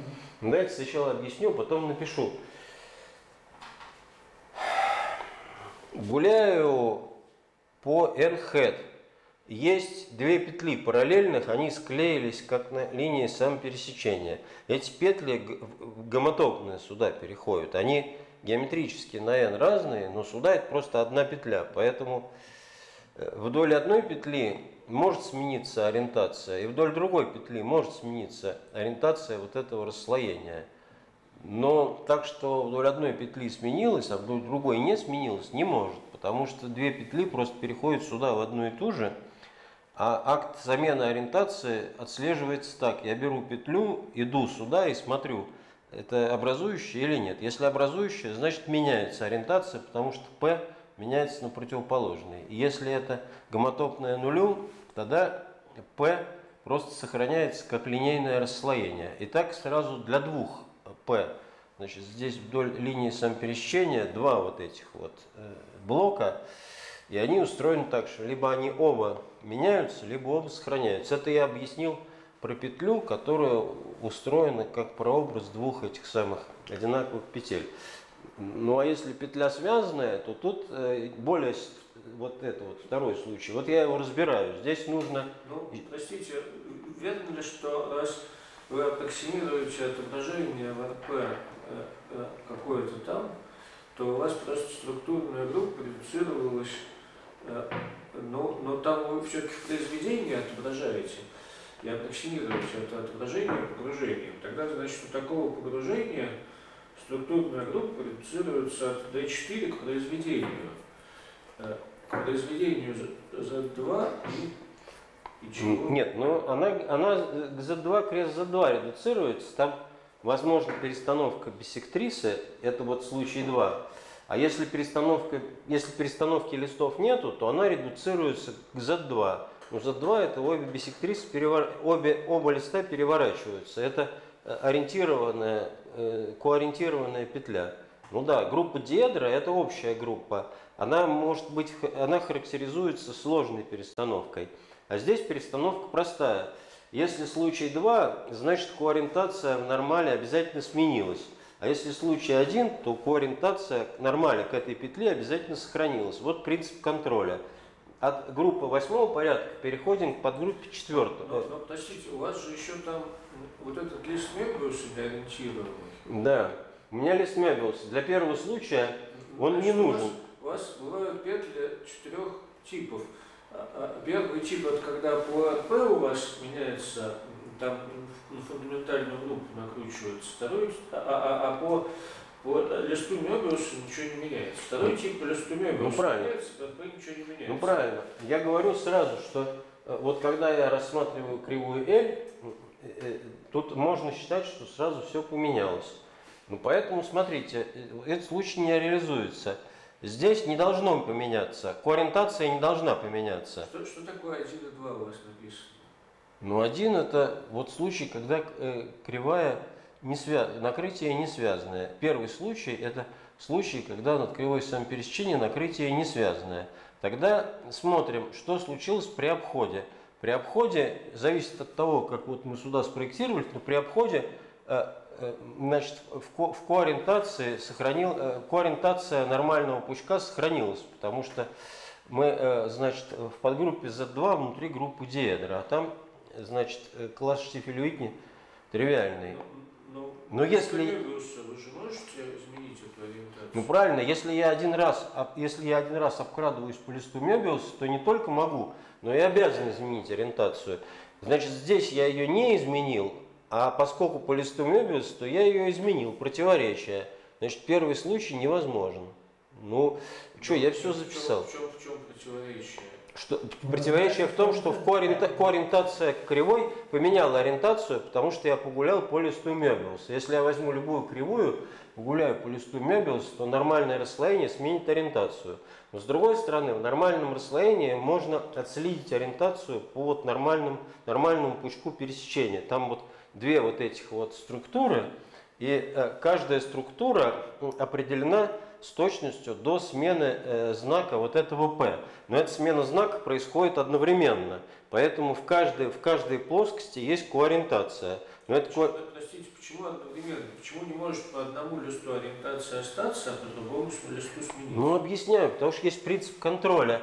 Э, э, То, что по одному листу осталось, это означает, что мы в нулевую петлю, вот уже вот сюда на проекции, это не вот это вот, а это вот это. А э, вдоль другого листа сменилось, это означает, что мы в образующую пришли. Но листы-то идут параллельно, они по кривой самопересечения. И вся кривая самопересечения, она вот сюда вот в контроль проектируется. Ну, поэтому если по одному листу у нас есть образующая, то по-другому образующая. Ну, поэтому, значит, они либо обе сменились, либо обе не сменились. Поэтому в коориентации видим сохраняющую ориентацию, нормальную, значит, площадку. С одной стороны, ну, поэтому по S1 не можем обойти. Там она сменится, а она должна сохраниться. Значит, это не годится. Ну, а второй случай, он априори возможен. Но здесь нужно э, еще раз спуститься по поверхности, и там будет это самое противоречие уже вот с этой леммой вторичной, э, что вот это вот сигма будет не ориентирована, значит, кабардантно, не может э, два раза об- обкрутиться вдоль S1. Ну, второй случай более сложный. Ну, первый случай, Первый случай я понял. Мгм. да. ну, второй случай давайте повторим. Значит, я Нет, но если он использует эту конструкцию, то, может быть, уже мало шансов это понять. Ну да, он использует эту конструкцию, он использует существование ориентированного кабардизма. Вот эта вот петля, вот здесь, значит, одна. Вот это вот многообразие, оно ориентированное. Но оно, конечно, ориентировано двумя способами. Чтобы сказать э, какой-то способ, нужно выбрать точку. Точку нужно выбрать, это локальная система, значит, точку нужно выбрать вот здесь на n-hat, взять на этом L точку и вот ее держать. Вот, э- вот в этой точке мы говорим, что это базовая точка, тогда все, все пляшем от этой базовой точки. Но вот в этой базовой точке у меня есть ориентация э, вот этого слоя, тогда второй слой ориентирован так, что я к этой базовой точке могу попасть только вдоль пути вот этого образующей, потому что у меня второй случай, здесь две точки переставятся. Но вот я иду по второй точке, несу ее в первую, и там вот этот лист ориентирую в соответствии с этой локальной системой коэффициентов. Поэтому эта конструкция глобально задает мне, э, значит, ко- коориентацию на, на вот этой вот кривой. Ну а, значит, когда я э, пришел по образующей, у меня первый лист перешел э, в- минус второй, а второй, э, значит, да, как я, как я, значит, ориентирую кривую. Вот один лист я взял отмеченную точку, а на втором я взял индуцированную ориентацию. Теперь что будет, если я, вот у меня будет кривая коориентированная в нормальном расслоении. Но нормальное расслоение к этой кривой не ориентированное. Может, что, э, может, что я лишнее доказал? Значит, сейчас... Нет, ну нет, ну так не может быть. Да, значит, вот эти точки переставятся, точки переставятся, а там нечетное число векторов p.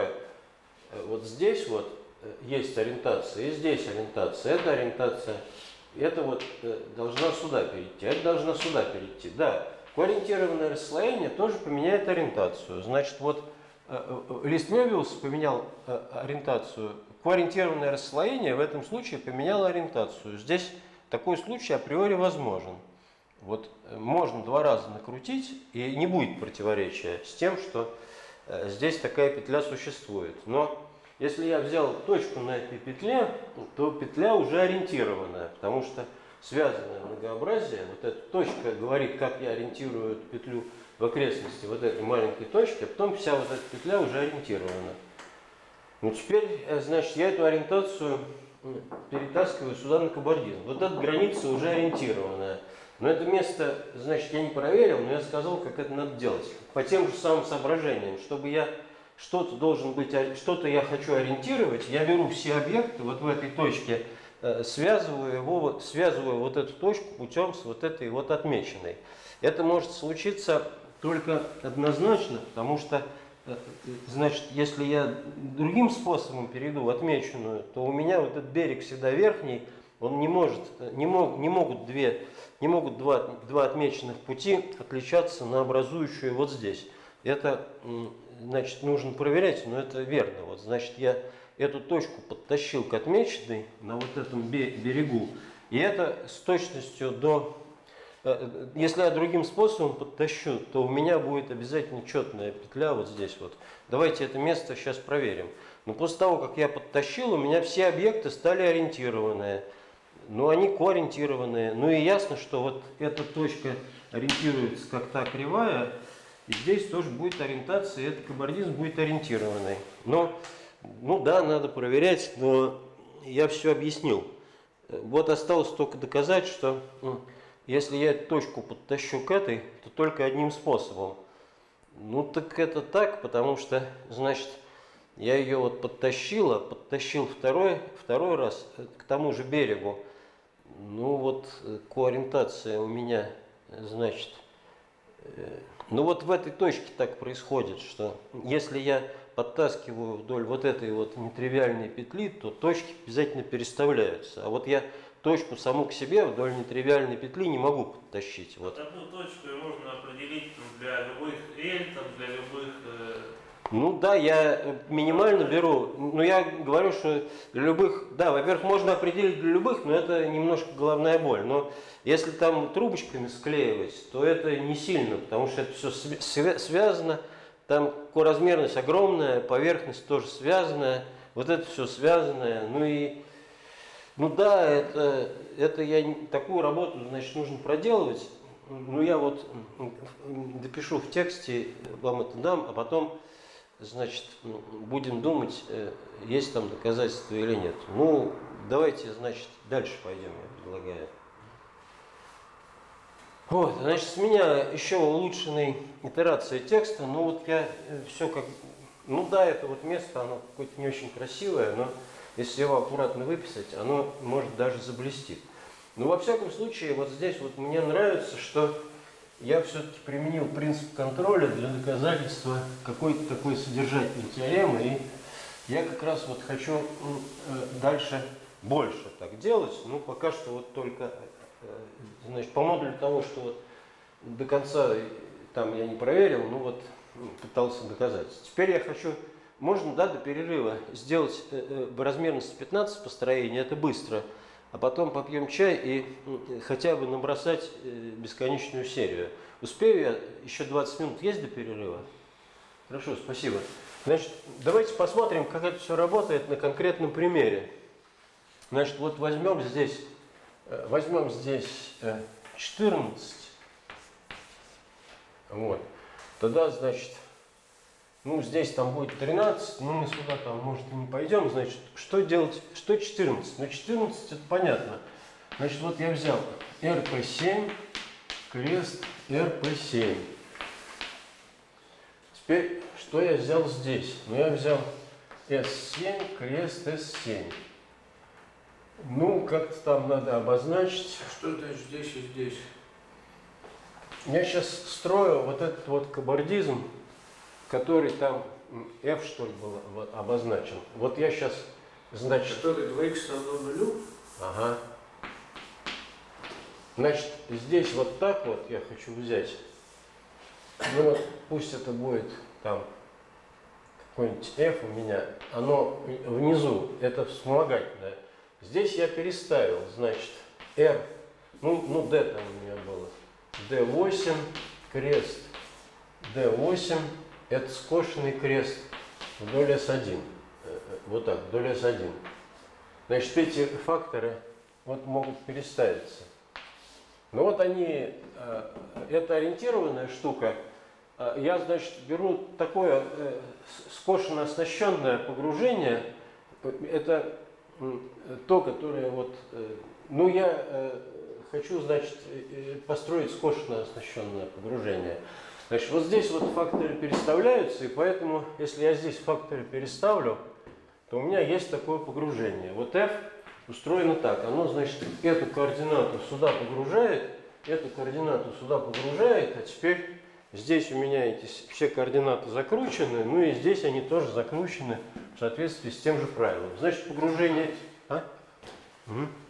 Именно семимерное проективное пространство видно? Да, это, это самое, это вот мы немножко обсуждали а- а- эти самые октавы, значит, да, э, РП7 погружается в R8, а вот дальше уже не погружается. Дальше, значит, идет трудность, а это последняя.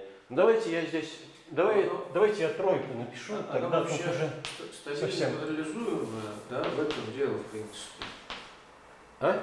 Нет, оно стабильно, оно стабильно не оснащенное. Если здесь 2 в степени L минус 1, там Нет, Э, и- именно РП7. Да, РП7 оно просто оснащенное, потому что э, октавы а, на них октавы действуют без делителей нуля и переносят, э, значит, репер из одной точки на все многообразие. Но вот здесь вообще э, без проблем, если я э, по- понизил размерность, давайте так сделаем. Э, Тогда это просто кватернионы, и тут вообще нет проблем. Ну, а в чем, в, чем, в чем разница? Вроде и там, и там проходит. Не, ну разница в том, что я хочу сделать военную хитрость. Я хочу построить, я хочу построить э, 7, хочу построить 7, потом хочу построить, ну здесь я, здесь я хочу построить э, э, 7, потом я хочу построить 15, заменив 3 на 7, а потом я скажу, что дальше-то мы построить не можем,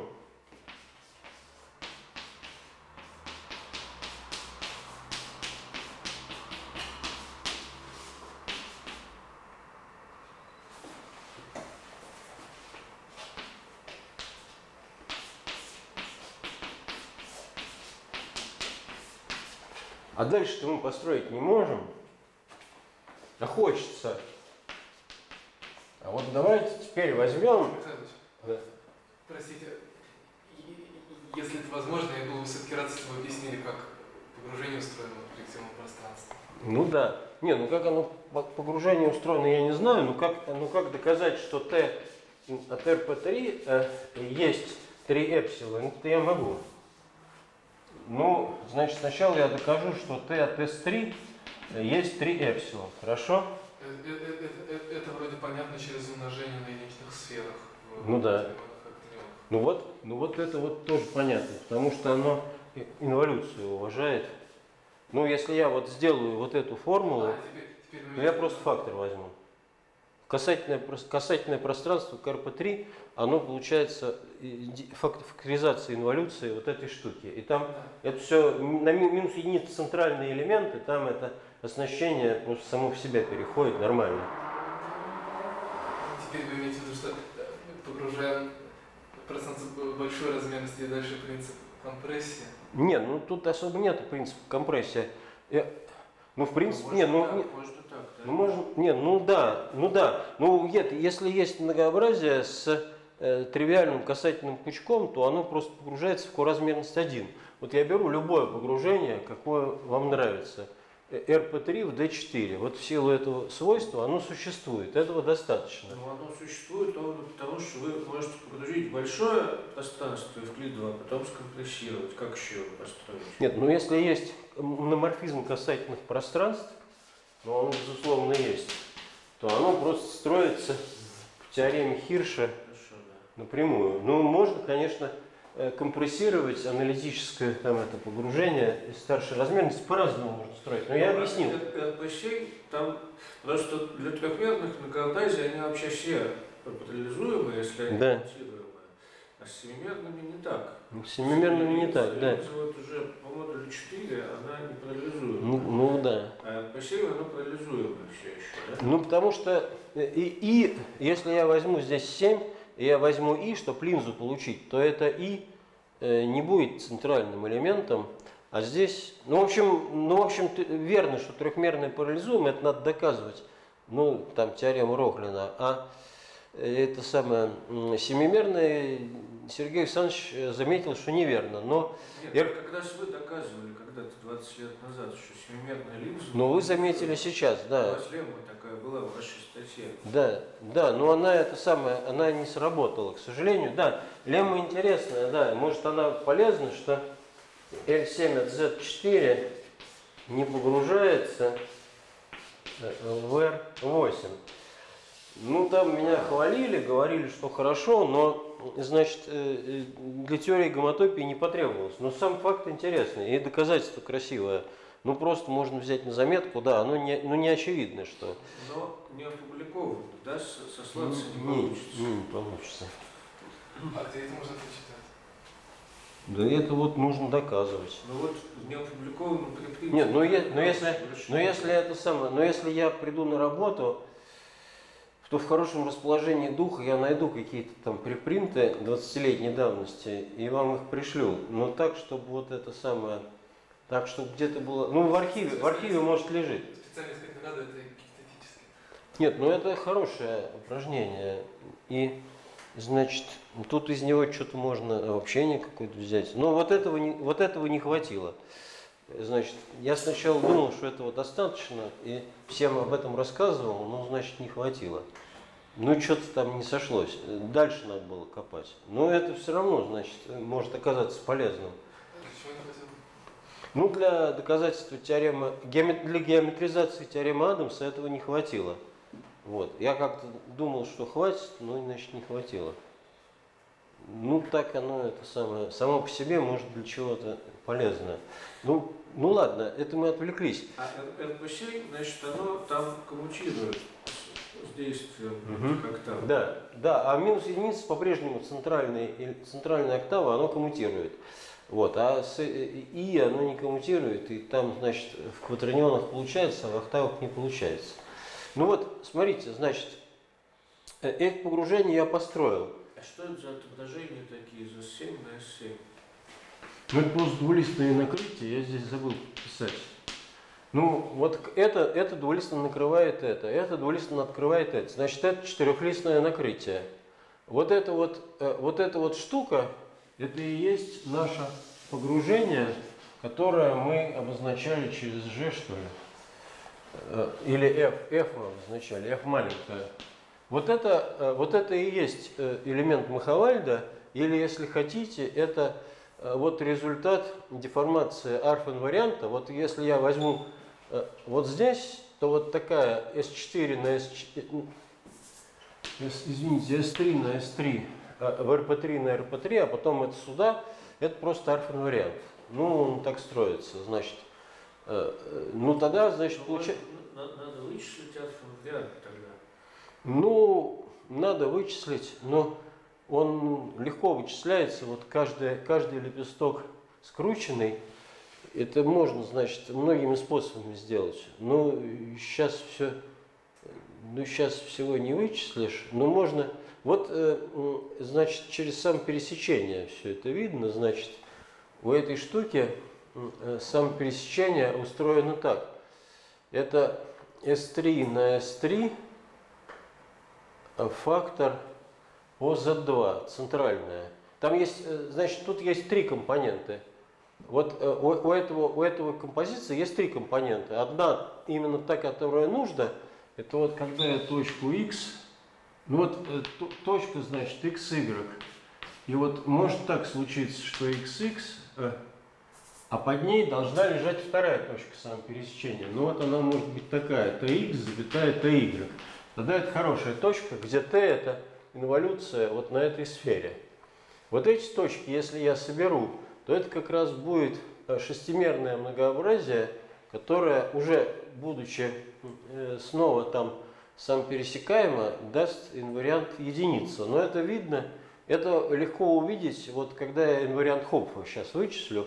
Вот инвариант Хопфа легче вычислять, потому что это просто э, характеристический класс вот на этом многообразии. Я сейчас докажу, что он равен единице, тогда из теоремы Брауна-Петерсона будет вытекать, что здесь просто и есть арф-инвариант. Но можно и, можно и напрямую доказать, что арф-инвариант.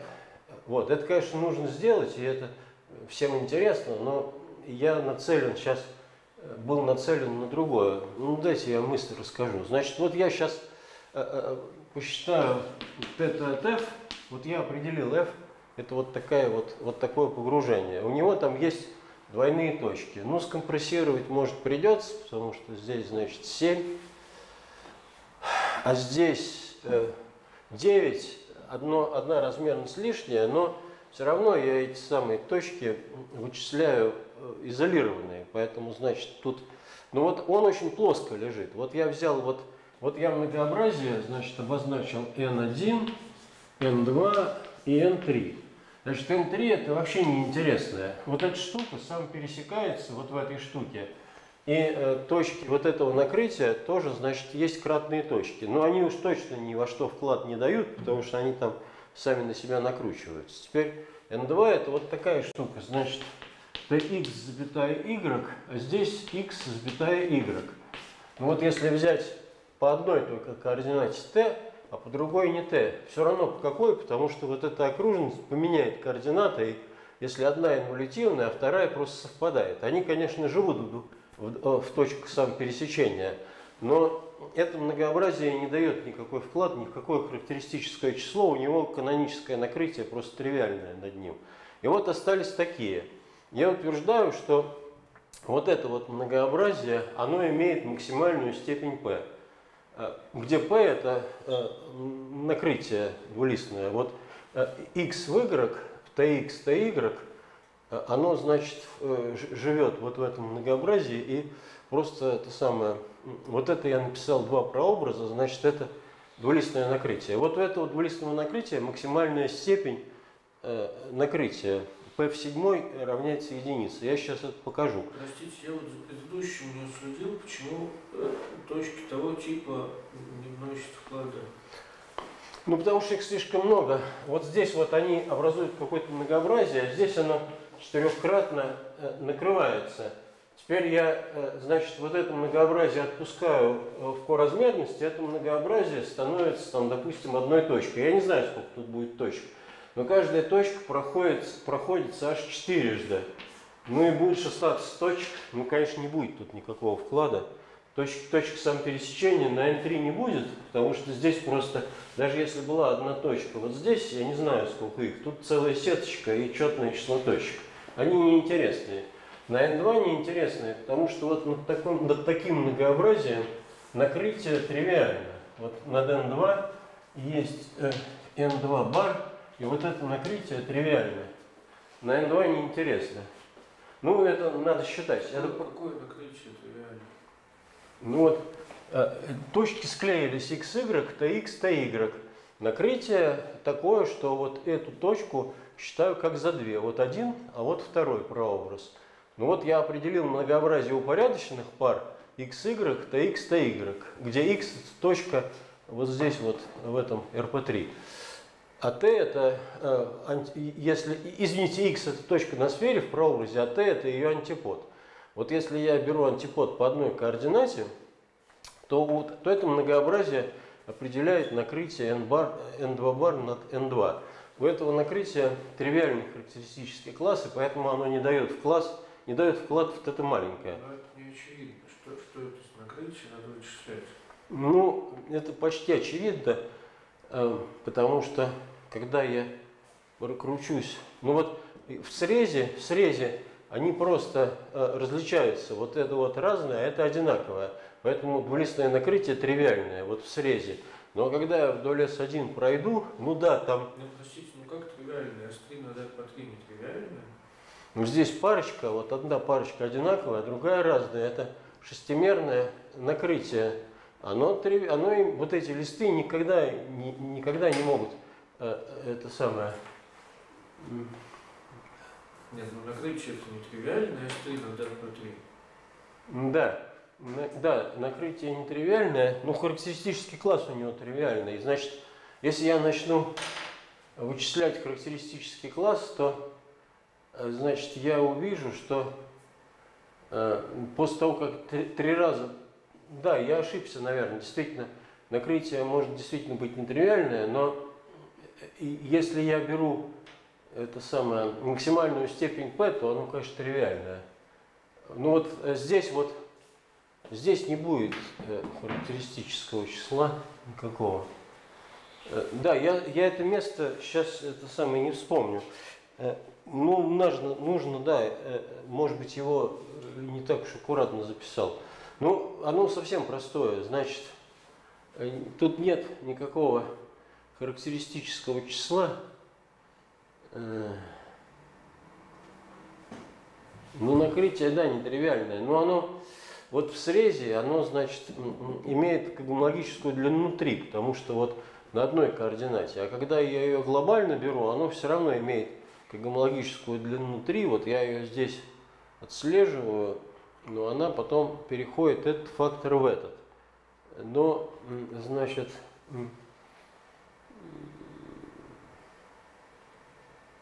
ну, э, ничего страшного, потому что... А, ну вот оно, оно значит, вот, а вот, вот, вот оно какое.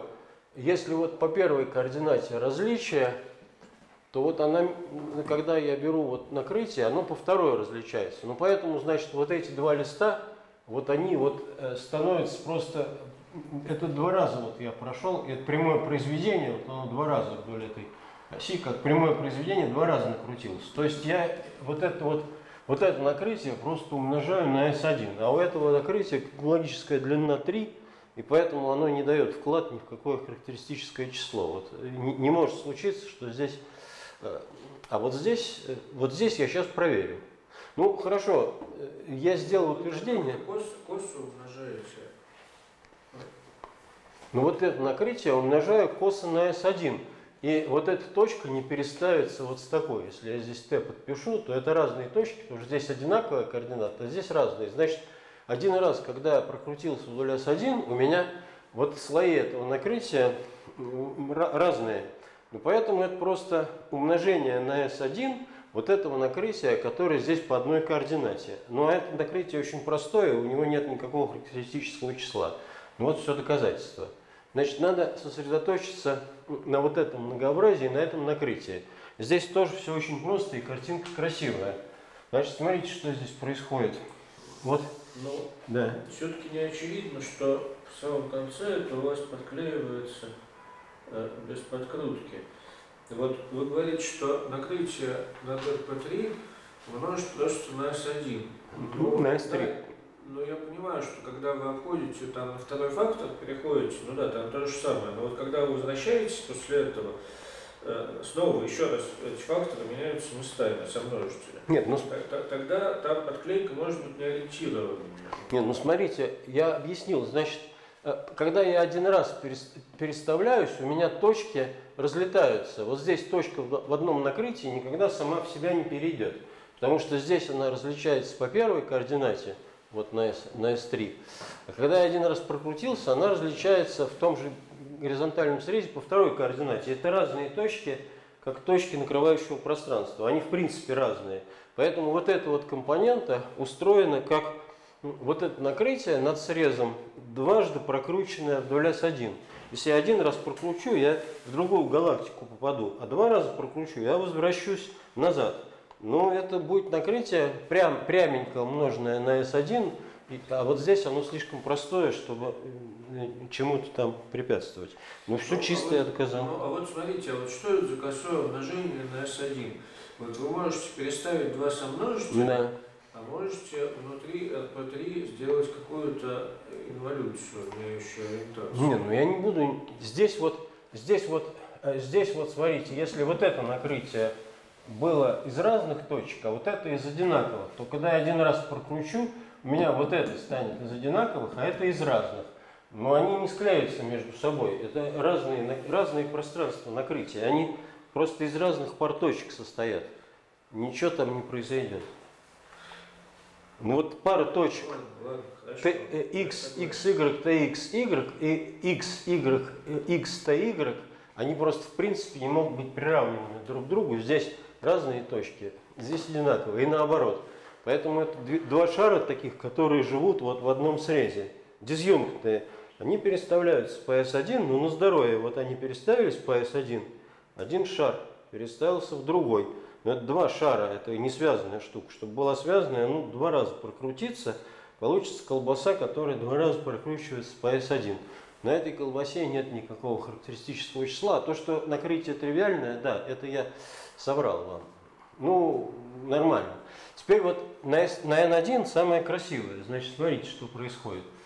Вот здесь вот я рисую, вот я рисую S3, ф- крест S3, а это все лежит в S7. Вот. Теперь что здесь происходит? Вот это тор такой, вот я его так должен нарисовать. Ну, тут вот это вот тор, в серединке он лежит. Вот, это вот одна его часть, а вот это другая часть. Теперь, когда я этот тор э, затягиваю, да, вот это значит многообразие, вот оно состоит из точек xy, то x, то y. Значит, вот оно, двулистное накрытие устроено так, что я беру S3 на S3 и беру диагональную инволюцию. То есть эта диагональная инволюция сохраняется с ди- с диагональной инволюцией на S7. Теперь, когда я, значит, беру степень отображения, то я должен сделать следующее. Я должен как-то его отобразить в RP7. Ну вот я э, с этого тора отображаю так. Значит, я первым способом могу вот эту вот инволюцию сюда э, э, затянуть. Простите, я что-то потерял нить. Откуда взялось RP7 и S7? Я, я считаю степень отображения, вот смотрите, вот, вот я взял компоненту N1, я взял N1 head. Вот здесь, э, здесь я построил... N1, от, от которой XY, TX, TY. Да, да. Да, оно состоит из точек XY, TX, TY. Вот я его обозначил через N1. Значит, это многообразие, которое я вот здесь вот, э, не умножая косы на S1, могу отследить так. Это XY, TX, TY. То есть, что это такое? Это вот этот вот тор S3 на S3, который лежит в S7, на котором действует инволюция диагональная, которая с S7 антиподальная. Вот это многообразие S3 умножить на S3 фактор, вот так- такие парочки, да, это в точности на парочке XY я действую минус единицы, потому что вот эти тэшки достраиваются по паре XY, вот. Значит, вот этот тор, это вот то, что я здесь вижу. Теперь вот, значит, это S1, оно делает следующее. Я сейчас должен э, вот этот тор взять его, э, э, взять, его эквивалентную гомотопию. Вот здесь есть одно S3, а здесь есть антиподальная S3. Э, Ну, потому что это join, а это тор в серединке лежит. Вот это одно S3, это другое S3, а это тор, который его разделяет. Вот если я возьму, скомпрессирую эквивалентно на одно S3, а потом на другое S3, то вот эти вот, здесь вот получится так, что я э, э, вот, вот здесь вот скомпрессировал эту, а потом на другой S3 скомпрессировал эту. Но когда я иду вдоль S1, у меня это меняется с этим. То есть здесь я скомпрессировал сюда, здесь я скомпрессировал сюда, а теперь, когда я иду по S1, я это должен подклеить к этому.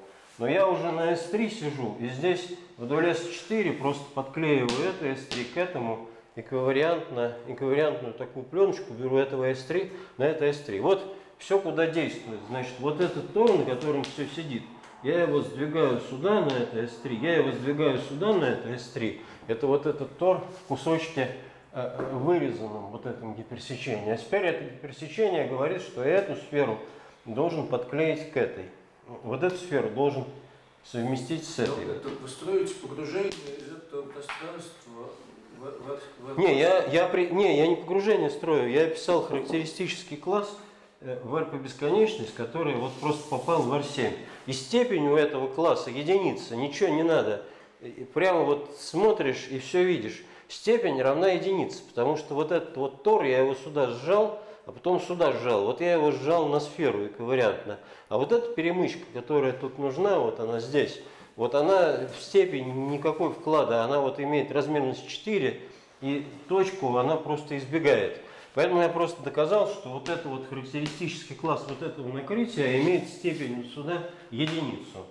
Ну вот, э, это и значит, что я это маленькое посчитал, потому что вот эта а степень... Почему, а почему вы туда стали сжимать на эти S3, S3? Ну я, ну я сжимал, потому что явно построил, э, ну я явно вот эту инволюцию расписал. Вот эту вот, э, вот эти точки, они э, живут э, в факторе вот по этой инволюции. Сжимать я могу, потому что вот эта инволюция, здесь сжимается эквивалентная S3, а вот это делается маленькая. И вот я вот эту сферу делаю маленькую, эквивалентно, а вот эту оставляю большую. Это все, вот этот тор сюда склеивается на вот эту S3 под джойну эквивалентным способом, где T это эквивалентная инволюция в S7. Теперь я сюда делаю эквивалентно. Простите, я не понимаю, когда вы сжимаете, у вас одна сфера уменьшается. Да, но они... Значит, в- в АП7 эти точки идут куда-то не туда. Ну, она, э, значит, э, ну, это сферический слой инвариантно. Она, значит, вот если я вот э, возьму, здесь же вот эта инволюция, вот она эту сферу гоняет в себя. Теперь вот этот вот тор я беру, я его сюда уменьшаю. Он все равно будет эквивалентно, э, э, потому что вот просто масштаб вот вдоль этой сферы становится маленький, но он эквивалентный. И вдоль этой сферы оставляю прежний масштаб. Вот когда я сюда сжимаю, все, вот этот вот, э, вот этот вот э, тор м, S3 на S3 эквивалентно сжимается как на эту сферу, так и на эту сферу. Ну да, эквивалентно. Вот, э, ну вот если бы это были одномерные сферы, вот была бы S3, и в нем был бы тор. И вот две этих самых окружности. И там это все антиподальные инволюции. Вот я на одну окружность эквивалентно сжимаю под джойну, потом на другую окружность. Получается отображение э, вот этого сфера с, вы- с выпиленной окрестностью вот этого полнотория степени 1 на все S3. Ну здесь на S7. А теперь я клею маленькую ленточку вдоль вот антиподальных окру- ок- окружностей джойна, тоже эквивалентную. Но Она двумерная. И вот на эту ленточку, вот как эта штука сдавливается с этой стороны, так и это. Э, Уже вот с этой стороны. Но они, ну, стороны поменялись, поэтому это то же самое сдавливание. Ну, поэтому вот э, получается такое отображение, что все вот это вот э, Т эквивалентно отображается на трехмерную сферу с такой вот врезанной ленточкой от этой сфере к этой. Ну и степень отображения эквивалентного на сферу равна единице.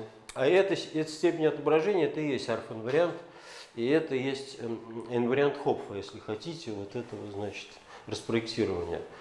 Ну, здесь все чисто, но только я так это все рассказывал, что вы, значит, э, э, ну без формул, да. Виктор Михайлович, Мгм. один вопрос. Как это все с F связано? Ну, F это вспомогательное отображение, это его двулистное накрытие. Я вот эту композицию беру, тестирую на многообразие сам пересечения. У него три компонента. Здесь характеристическое число 0. Каждая компонента это характеризуется степенью отображения в RP7, ВОСТов, потому что это семимерное многообразие. Но здесь там она вообще тощая. Здесь 0, э, как мы выяснили, она простая. А здесь единица. Значит, э, общий характеристический класс вот у этой композиции равен единице. Вот f маленькая это вот эта композиция. Это погружение, которое есть э, в точности то погружение, у которого Браун и Петерсон э, хотят считать характеристическое число. Виктор Михайлович, объясните тогда, пожалуйста, почему само пересечение три компонента? Ну, они вот э, так делятся. У этой штуки есть сам пересечение, вот здесь вот, и оно наследует сам пересечение вот этого погружения f маленькое. Это n3. Ну так? Теперь э, оставшиеся компоненты делятся на два типа, в зависимости от типа инволюции. Интересный тип и неинтересный тип. Больше других нету. Ну, ничего другого не может быть, потому что xy, xy нельзя написать, это просто совпадающие точки. Их надо развести. Если я разведу по одной координате, вот так получится. А если по двум координатам, так получится. Ну, больше нет координат, их никак не разведешь. Ну вот, э, значит, я дал набросок того, что здесь вот такие вычисления. Теперь смотрите, здесь те же самые вычисления. Ну, потому что, но, ну как э, дальше делать? Да, вот если бы я дальше делал, то получилась бы бесконечная серия. Эта бесконечная серия называется бесконечная серия Махавальда. Все, мы бы гомотопические группы продолжили от Земли до неба, да? Но РП-15 уже не погружается в D16? Да, не погружается. А теперь вот что надо делать. Надо вместо вот этого сделать э, модификацию вот этого. И вот это вот Извините, Петр Михайлович, можно, прежде чем модификацию, можно напомнить, э, как это связано с инвариантом Кервера. Вот у у вас, э, ну вот вы сейчас, собственно, доказывали на эту тему утверждение, да? Да, инвариант Кервера живет э, вот как. Если я вот про это S забываю, S3 на S3 вот сюда надеваю, у этого погружения есть инвариант Кервера. Ну это что такое? С одной стороны, это арф-инвариант квадратичной формы, и здесь он легко считается. Две образующих, у каждой минус единица. Простите, вы можете просто взять сечение, забыть про это косое умножение на S1 Да, вообще, взять да. сечение, и там уже будет не, нулевой альфа-инвариант. Но это и есть единичный арф-инвариант в шестимерном, на шестимерном этом гомотопической группе, да. Зачем нужно было косо умножать на S1? Ну, чтобы элемент Махавальда из этого арф-инварианта получить. Ну, в теореме Брауна-Петерсона говорит, что если этот арф-инвариант косо умножить на S1, то он перейдет в инвариант Хопфа. Ну вот я пытался это сделать. Чтобы, это нужно было, чтобы вычислить этот альфа-инвариант. Нет, ну, ну, ну, например, по теореме Брауна-Петерсона это нужно, чтобы вычислить этот арф-инвариант, да. Но, э, значит, здесь его можно вычислить и, и явно. Вот я говорю, два способа есть. Первое, вспомнить, как он по квадратичной форме строится. Здесь две образующих, и каждая зацеплена с инвариантом, каждая закручена и имеет э, э, квадратичную форму единицы. Значит, арф-инвариант вот этой квадратичной формы, как был на первом занятии, равен единице. Но это никто не помнит. А другой способ такой, явно вычислить точки самопересечения и взять э, у них еще одно самопересечение. Но это делается, потому что здесь просто, вот как устроено вот это вот погружение, если его перерисовать. Вот одно S3 такое, а второе S3. Это я, значит, беру это S3, погружаю в R6, а потом еще умножаю на R4.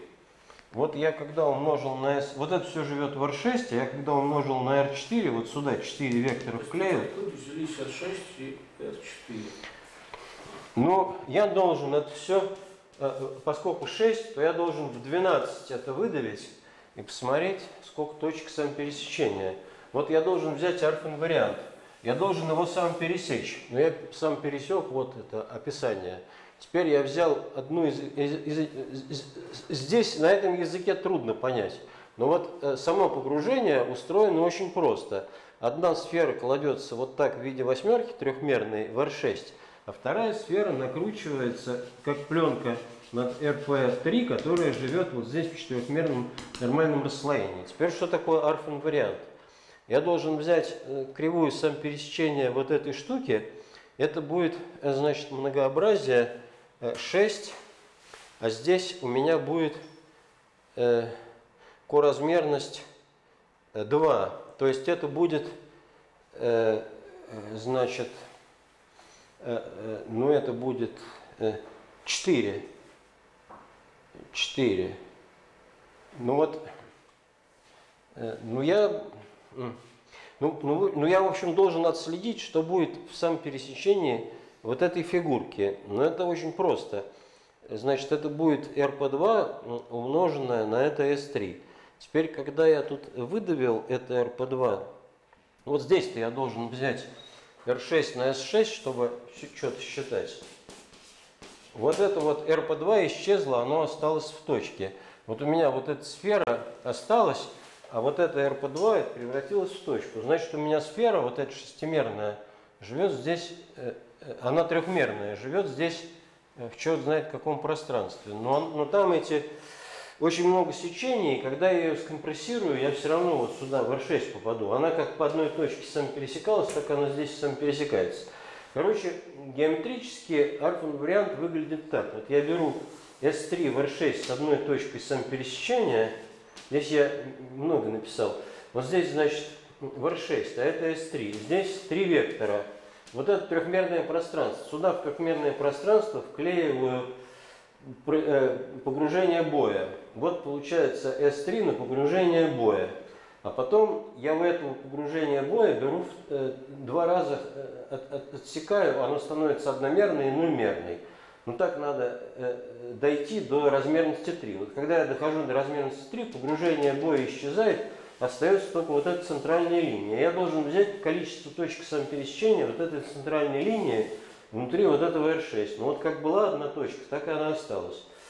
Значит, вот здесь что происходит с вот этими компонентами, я сказать не могу, там с ними что-то происходит. Но вот само вот это погружение, оно устроено так, что это э, восьмерка, которая бегает по восьмерке. А как это понять? Вот это вот восьмерка, а от этой восьмерки остался только след самопересечения, поверхность боя. Значит, поверхность боя, которая бегает по восьмерке. Теперь, когда два раза беру P, вот эта поверхность боя исчезает остается вот эта восьмерка. И у этой восьмерки должен взять сам пересечение. Это вот эта точка. Значит, арфин вариант вот здесь равен единице. Ну вот как бы можно и без теоремы Брауна Петерсона его вычислить. Вот. Это, ну, ну я вот, э, значит, э, скажу. Ой, ну, я стараюсь э, отвечать. Значит, смотрите, вот если я из этого сделаю вот это другим способом. Я возьму не S7 на, R, на R7, а я возьму вот этот блок, в качестве этого блока я возьму всю вот эту вот байду. Вот я вот это вот возьму в качестве RP7, а в качестве вот этого двулистного накрытия я все вот это возьму. Тогда я уже посчитал тут какие-то дурацкие точки, но все равно э, инвариант Хопфа э, такой же, как S7 на RP7 вот он живет вот на этом многообразии. Поэтому я могу вот вместо вот этой вот RP7 взять вот это многообразие M и сделать здесь M крест M скошено с S, а здесь что получится? Ну, тогда это индукция. И эта индукция правильная. Но есть одна неприятность. А именно, смотрите, вот это вот многообразие, оно имело нетривиальный характеристический класс. Оно э, вот скошено вдоль S1. Когда я перемножил вот это многообразие, оно имеет два класса. Здесь-то оно имело только класс вот этот вот диагональный, оно было линейное, хорошее. И, а здесь оно имеет два класса. Первый класс, второй класс, да еще их перестановка. Нормальное расслоение диэдральное, двумерное. Ну вот у этого диэдрального есть Эйлеров класс. Так вот этот Тейлеров класс, э, вот эта штука 14-мерная, э, вот здесь 15-мерная, а Эйлеров класс, который мешает, 13-мерный. Вот этот 13-мерный класс надо вырезать, а именно взять вот этот класс как такой, вот Эйлеров класс вот этого нормального расслоения. И здесь четырехлистная... Простите, пожалуйста, Петр Михайлович, сейчас я уже немножко сбился. Ну. Значит, у вас F вот эти, которые были раньше F3, F3, оно было оснащенное, да? Ну, здесь раньше было скошено оснащенное из-за того, что вот эти штуки переставлялись. И это единственное скос, скос оснащенное вот за счет того, что здесь была вот был, была перестановка. Вот они были оснащенные, бисектриса инвариантна, а антибисектриса была скошена оснащенная. А в теореме Брауна Петерсона у вас разве не оснащенная должно было? Нет, ну там две теоремы. Можно так, а можно оснащенное, но тогда здесь делать. Ну вот здесь-то здесь -то это фиктивное. Вы говорили наоборот, что если сделать там прямое произведение... Ну здесь оно прямое, вот здесь оно, здесь оно прямое, потому что D4 представляется с D4, это ничего не переставляется. Это э, здесь листа Мёбиуса нет, это я так просто написал. Э, в теореме Брауна-Петерсона вот здесь лист Мёбиус, то есть D3, э, D3 инвариантно, а одно, одна, одно переставляется, а здесь все четыре переставляются, то есть ничего не переставляется. Вот здесь я могу вот эту штуку топологически, это гомеоморфно прямому произведению. Скос вот здесь, но это один способ. А второй способ, как в доказательстве, скос здесь, а здесь тогда, значит, что получится, ну тоже скос. Но вот здесь нет скоса. ну, в точности, как в теореме Брауна-Петерсона. Вот здесь пр- прямой полноторий, а вот скошенно оснащенное погружение идет э, в него. Ну, в по размерности 2, значит, бисектрису отре- э, значит, компрессируем по фиршу, и вот, э, значит, э, од- од- один вектор остается. А здесь два вектора остаются. И это единственное место, где индукцию нужно делать. Но вот это место тяжелое, но не настолько тяжелое, чтобы оно оказалось безнадежно тяжелым. Значит, э, иде- идея взять Эйлеров класс, он 13-мерный, который мешает, взять у него окружность и вот вклеить ручку. Смотрите, значит, вот все хорошо, но здесь вот, а, здесь два листа, вот они идут, здесь четырехлистное накрытие. Вот на этом накрытии есть P. Вот на этом накрытии есть P, гомологическую длину, которую мы должны оценить. Здесь есть Селлеров класс. Вот мы должны вот так его срезать. Тогда все хорошо получится, но почему этот класс продолжается на подошву ручки? Вот это единственное сложное место, которое нужно прошибить. Ну, продолжается. Вот так вот жизнь устроена, что здесь вот этот класс P, казалось бы, он не должен продолжаться. Ну, продолжается. Но после того, как он продолжается, здесь происходит индукция, потому что вот мы так делаем ручку, вот здесь вот в серединке маленькое многообразие, которое не дает вклад в характеристическое число, я проверил. Его можно стереть, оно очень тощее. А здесь внешнее, оно дает. И вот оно уже оснащенное, потому что вот была лямбда, которая стала оснащением после того, как мы вклеили ручку. А то, что осталось, э, ну, осталось неориентирующий класс, который допускается. Вот он по-разному ведет себя вдоль вот этих вот берегов. Ну и вот этот класс, он как был космологическую длину, как вот имел, значит, 15, так и после перестройки будет иметь 15. Ну, поэтому, э, вот если вот эту штуку сделать вот так вот по-другому, э, то дальше можно э, продолжать по индукции.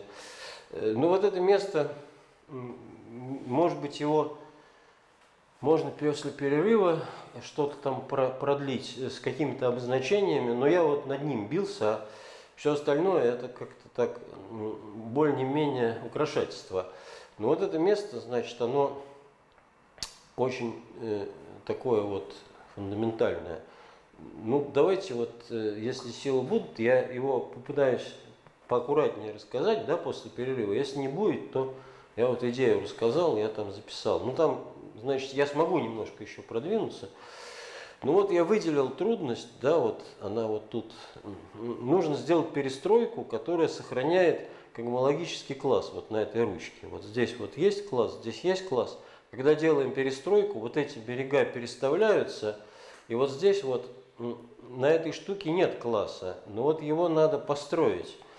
Ну, можно построить, потому что вот он сам тут скрученный. В общем, нужно это более-менее рассказать. Сейчас вот то, что здесь есть класс, и как это вот я строю, это я только наметил. Это класс на RP7 умножить на RP7, да? Ну вот я вместо, вот я вместо RP7, да, этот класс, вот я, нет, здесь, здесь он вообще не нужен, потому что этот класс, вот он линейный, и Эйлеров класс линейного расслоения тривиальный. Я беру двумерное расслоение, там эпсилон, и вот это, и там Эйлеров класс нулевой, там не нужно делать перестройку. А теперь мы берем вот вместо этого М7. Вместо этого берем М7. Откуда мы берем М7? М7 это вот эта штука. Вот она вот отсюда пришла. И это как раз та самая, это вот как раз не М7, а N1 даже я беру. Вот. На N1 у меня накрытие, вот оно имеет космологическую длину 7. Вот я в качестве М беру N1. И вот сюда его вклеиваю. Тогда здесь вот получается там N1 бар, N1 бар, все проходит. Вычисление космологической длины проходит, потому что я ничем не пользовался. Вот, вот, вот, вот что здесь RP7, что здесь M7, это все равно. Но что не проходит? Не проходит, что нормальное расслоение вот к этому M7 линейное. Было тривиальное, а стало нетривиальное. Тогда нормальное расслоение вот к этой штуке диэдральное, потому что вот здесь, вот здесь еще переставляется. Двумерное, вот нормальное расслоение вот этого погружения F, оно с- стягивается с BD. Вот оно диэдральное. А было, было BZ2 линейное. А оно стало диэдральное. И вот у этого диэдрального, если есть э, сечение, ну тогда э, оставшееся будет тоже Z2. Но там нет сечения. Ну, Эйлеров класс не равен нулю. Ну, что делать? Вырезать его надо. Вырезаю, вклеиваю ручку. Вот у, этого, у этой штуки остается вот этот характеристический класс единичный, но здесь уже есть сечение, потому что вот здесь параллельные копии, вот здесь я вырезал, вот они так закругляются, вот так вот за ручку здесь есть сечение. Вот просто это же уже вот двулистное накрытие, а здесь четырехлистное. Вот я его раздвинул, и все сам, весь Эйлеров класс, все сами пересечения вот здесь были внутри, они в 13 мерно. А здесь они все раздвинуты. Вот здесь две параллельные копии. Здесь есть сечение от одного к другому, просто сечение. А здесь я вклеил ручку, поэтому закругляется. Вот где не было сечения, я вырезал. Но надо, надо проверять, что то, что я вырезал, не дает вклада в характеристическое число. Я это, значит, э, вот я это, Петр Михайлович, вы это можете аккуратно все рассказать? ну, я, да, да, могу. Давайте, значит, давайте сейчас сделаем перерыв. Есть а- еще сила. Ну, если, если, если не хотите, можете на этом закончить. Я, в принципе, идею сказал. Но, да, я, я готов, я готов это более-менее с диаграммами До 9, сказать. можно до 9? Сейчас вот 8 уже, в принципе. Давайте до 9, потому что дальше уже, по-моему... Ну, перерыв надо сделать Да, или не да, нужно? да, перерыв надо. Давайте я выпишу диаграммы, э, там действительно немножко продвинуть дальше, поскольку вот это вот, это вот место действительно очень важно. Ну и м, дальше тут это самое, получается бесконечная серия, это как бы цель э, вот этого исследования, построить бесконечную серию Махавальда. Я, значит, думаю, что э, читать работу Махавальда сложнее, чем понять, как эта бесконечная серия устроена. Все, что для нее нужно, вот эту вот перестройку сделать и отследить, что характеристический класс продолжается на ручку. Ну, сделаем, сделаем такое исследование. Про многообразие М7 мы ничего не знаем. Знаем, что есть накрытие, А, знаем, что оно погружено в R8. Ну и знаем, что P в седьмой степени, интегрированная по M, есть единица. Больше ничего не знаем. Значит, нормальное расслоение там вот этого фи есть, ну, лямбда, наверное. Нет, не лямбда. Ну, как-то вот капа. Теперь делаю такую конструкцию. Значит, То есть я- явным видом фи вы пользоваться не будете. Вообще ничем не буду. Вот при вычислении я буду пользоваться вот этой формулой. Но вычисление отдельно. И э, значит, я сейчас строю погружение э, вместо м, 7 беру 15. Ну как я это делаю? Вот я делаю так. М7, крест М7, крест С1. Загружаю в R8, крест R8, крест S1. Здесь уже все готово. М бар, крест М бар, крест S1. Вот. Проблема, что вот это погружение ну, допустим, оно будет пси. Ну, вот пси диэдральное. Ну, я так напишу. Ну, структурную группу, структурная группа диэдральная. То есть в каждом слое две линии неупорядоченные, которые могут переставляться. Откуда они взялись? Вот это М погружается сюда с такой линией, это М погружается сюда с такой линией, и вот они переставляются вдоль S1. Значит, если бы эти линии были бы тривиальные, вот эти вот слагаемые, то тогда вообще ничего не нужно было бы делать. Вот они переставляются вдоль бисектрисы. Вот здесь э, антибисектриса. Вот это антибисектриса, линейное расслоение, вот это тривиальное расслоение. И все. Осталось бы только из этого вывести, что э, степень вот у этого отображения, степень, здесь четырехлистное накрытие, но оно строится по двулистному. Ну так же, как там, значит, вот здесь есть вспомогательное многообразие, ну как там, n, что ли, я его обозначу, 15. Вот оно двулистное накрытие, пе- первый э, промежуточный этап, а это значит четырехлистное накрытие над этим. Ну вот у этого класса максимальная степень тоже единица, 15 Но это отдельная лемма, она, значит, вот из этой вытекает. Э, Но это я уже доказывал. Вот что я там рассказывал, вот просто повторю вот эти рассуждения, заменю вот этого m на rp7, и там э, просто все получится. Значит, с этим, с этим нет проблем. Проблема э, с тем, что я не построил скоснащенное погружение. Ну, если вы будете там слишком много ручек клеить, то это может испортиться. Да, это может испортиться. Ручку я буду клеить всего одну э, с подошвой 13. Но я вот, значит, э, буду клеить ее так. Вот я возьму 13-мерное многообразие, вот я возьму его трубчатую окрестность. Это многообразие я обозначу через L. Давайте вот это вот, мне сейчас, э, значит, ну вот L живет вот здесь вот.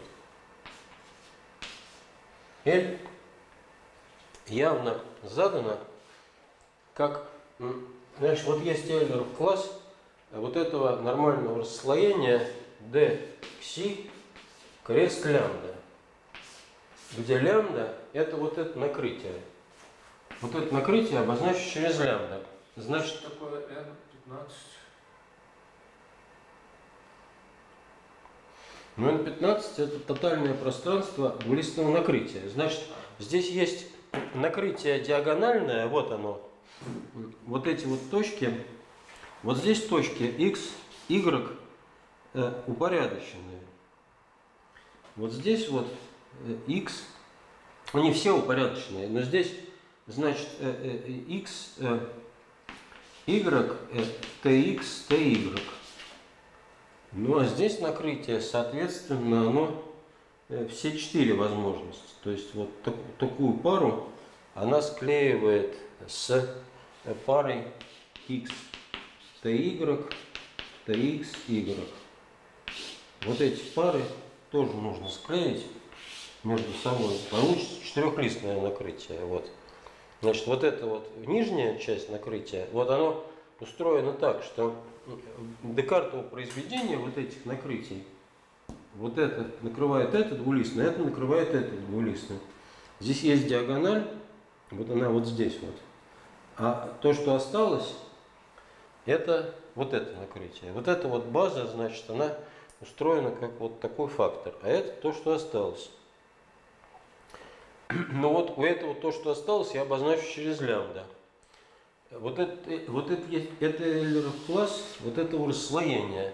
Нормальное расслоение кси тензор на лямбда. Почему? Ну, потому что э, я вот э, хочу, э, э, ну это значит такая конструкция, что я беру вот погружение вот с таким нормальным расслоением, и я хочу вот это вот двулистное накрытие пошевелить и посмотреть, какие точки Эйлеров класс вот останутся. Это Эйлеров класс не самого расслоения, вот это, а скрученное с лямбда. Значит, я беру двулистное накрытие и отпускаю его в тотальном пространстве вот этого двумерного расслоения. Ну, там есть формула.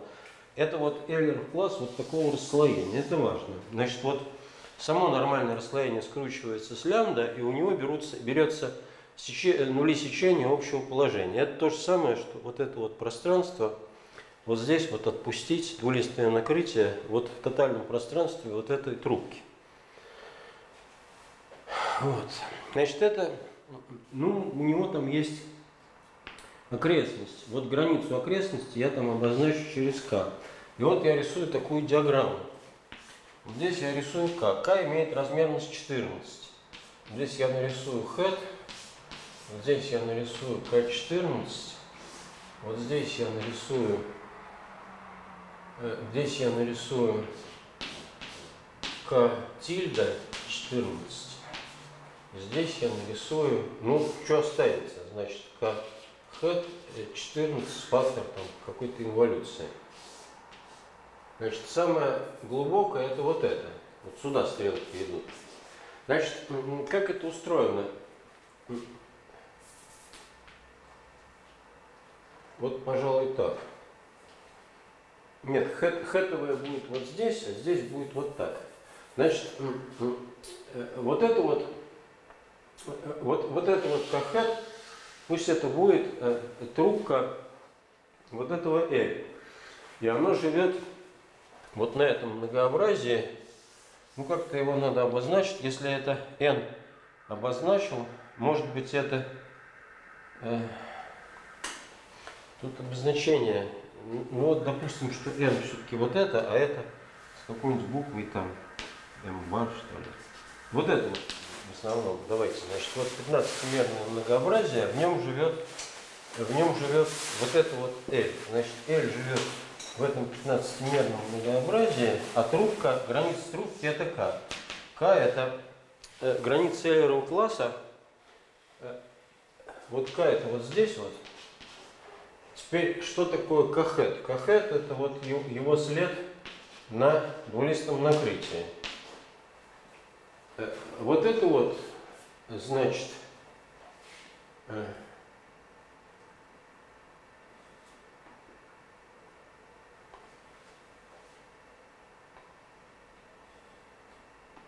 Нет, значит, самое кахет это, значит, вот сюда идет, в глубину. Кахет это след на накрытии, поэтому кахет накрывает это. Значит, у меня стрелки вот сюда получились. Вот это пусть будет кустилья, а это будет пусть кухет.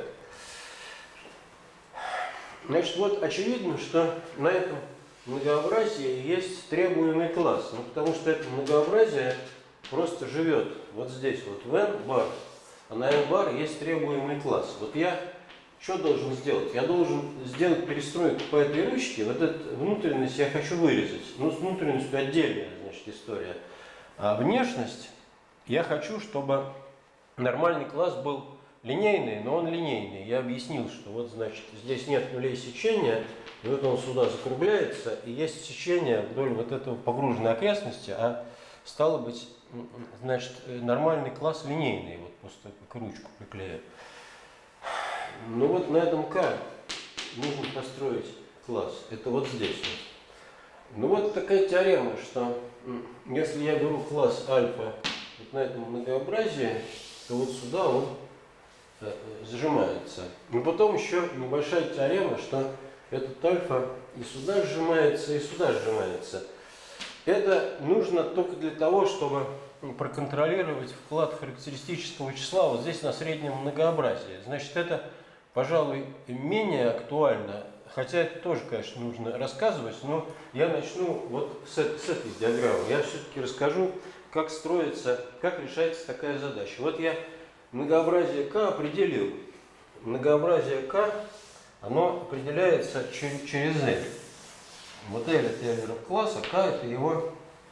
Ну, теперь, как оно конструктивно определяется? Вот над L есть вот это расслоение ню, кси. И вот есть тензорное произведение. Вот. Значит, ну вот над L надо взять вон то расслоение, и взять у него дисковую, дисковую границу. Это вот будет К. То есть это такая трубочка, которая э, устроена как ню кси, но только она крутится. Крутится, когда мы переходим э, по характеристическому классу вот этого накрытия. И вот я утверждаю, что на, эту, на эту базу вот этот класс садится. Но это совершенно непонятно, как такое может быть, и кажется, что это неверно. Но значит, вот в этом месте есть доказательства. Сейчас оно будет изложено. Но все остальное по сравнению с этим как бы проще. Значит, здесь класс есть, а здесь его нет. И я должен его сюда посадить. Ну, теперь давайте смотреть. Э, Значит, это многообразие К. Вот оно, во-первых, у него есть отображение, два отображения, два отображения в группе диэдра. Вот я так напишу. Значит, вот это отображение, оно устроено, потому что это К м, живет в M, а все M представлено по нормальному расслоению в группу диэдра. Значит, устроены, устроены элементы так. Вот здесь есть подгруппа ИА, это отражение относительно биссектрисы. Вот эта вот биссектриса, это есть вот эта вот самая петля S1. Симметрия относительно этой биссектрисы. То есть здесь есть два вот таких лепестка таинственных. Значит, симметрия вот на этих вот координатных осях. Эта симметрия связана с тем, что вот на этом M живет ориентирующий класс, и он может быть нетривиальный, как на этом, так и на этом. А вот они переставляются в биссектрисе, и это... При этом, значит, тут есть такие пути, что один класс э, преобразовался, а потом переставился. То есть это, Да, это группа, конечно. да, это группа из восьми элементов, у нее есть представление, Но, но ну вот она такая же, как я, здесь. Я не понимаю, что здесь написано, но единственный способ, который я могу интерпретировать, это что вот есть отображение из, э, из многообразия в конечном группе. Не, ну БД, э, ну БД, конечно. Э, Классифицирующее пространство этой группы. Ну, спасибо, да. Значит, эта группа, да, да, да. Это, ну да, пространство Маклейна, КД1. Значит, это группа движений плоскости, которая сохраняет координатный крест, но при этом, значит, 8 возможностей переставиться. Теперь вот это та же самая группа, но она возникает совсем по-другому. Дело в том, что вот это вот накрытие, это тоже группа Z2, крест Z2, но она никакого отношения к нормальному слоению не имеет. Вот над этой, над этой штукой накрывается, над этой накрывается. А биссектриса общая, биссектриса вдоль S1, она переставляет, как вот эти нормальные слои э, из вот этого это, ню, извините, так она и переставляет вот эти листки. Ну вот я, значит, одну группу диэдра вот так вот буду писать. Это та, которая за накрытие отвечает. А эту группу диэдра, ну, значит, есть отображение там вот из π КД1, и здесь тоже есть π в КД1. Эти два отображения склеенные. Но вот, м, пользуясь только вот этой диаграммой, не удается построить э, вот этот э, когмологический класс. Вот только э, алгебраически его нету. Потому что что я хочу сделать? Ну, я хочу, грубо говоря, взять вот в этой группе элемент, э, допустим, э, ну вот я хочу взять элемент А, который есть АБ. Я хочу спроектироваться на этот элемент А. Но это невозможно, потому что, значит, э, э, э, я хочу сделать следующее. Э, Вот, вот эта группа, она так еще представлена там в виде А и А с точкой. Значит, это две образующих. э, Тут еще есть элемент переставляющий. Ну вот я хочу спроектироваться сюда э, на А с точкой. Но это я могу сделать, будучи си- сидя, сидящий в подгруппе. Но у меня есть элемента маленькая, которая вот их переставит. Коммутатор А с А маленьким, это есть минус единица. То есть она и здесь, и здесь нетривиальная. Но минус единицу я хочу распознать как нетривиальный гомоморфизм А. Но такого не бывает, потому что коммутатор двух элементов... Я хочу построить гомоморфизм этой группы группу Z2 так, чтобы коммутатор двух элементов отображался в единицу. Но мне это не удастся сделать. Такого нет гомоморфизма. Простите, я понял, что такое большое. Ну а большое это А, все, а большое это АБ. Я просто так переписал вот эти образующие. А большие это вот отражение относительно этой биссектрисы, а маленькие отражения относительно вот... э, А большое это отращ- относительно осей, э, вот. э, А Б это поворот на 90 градусов. Ну вот геометрически так.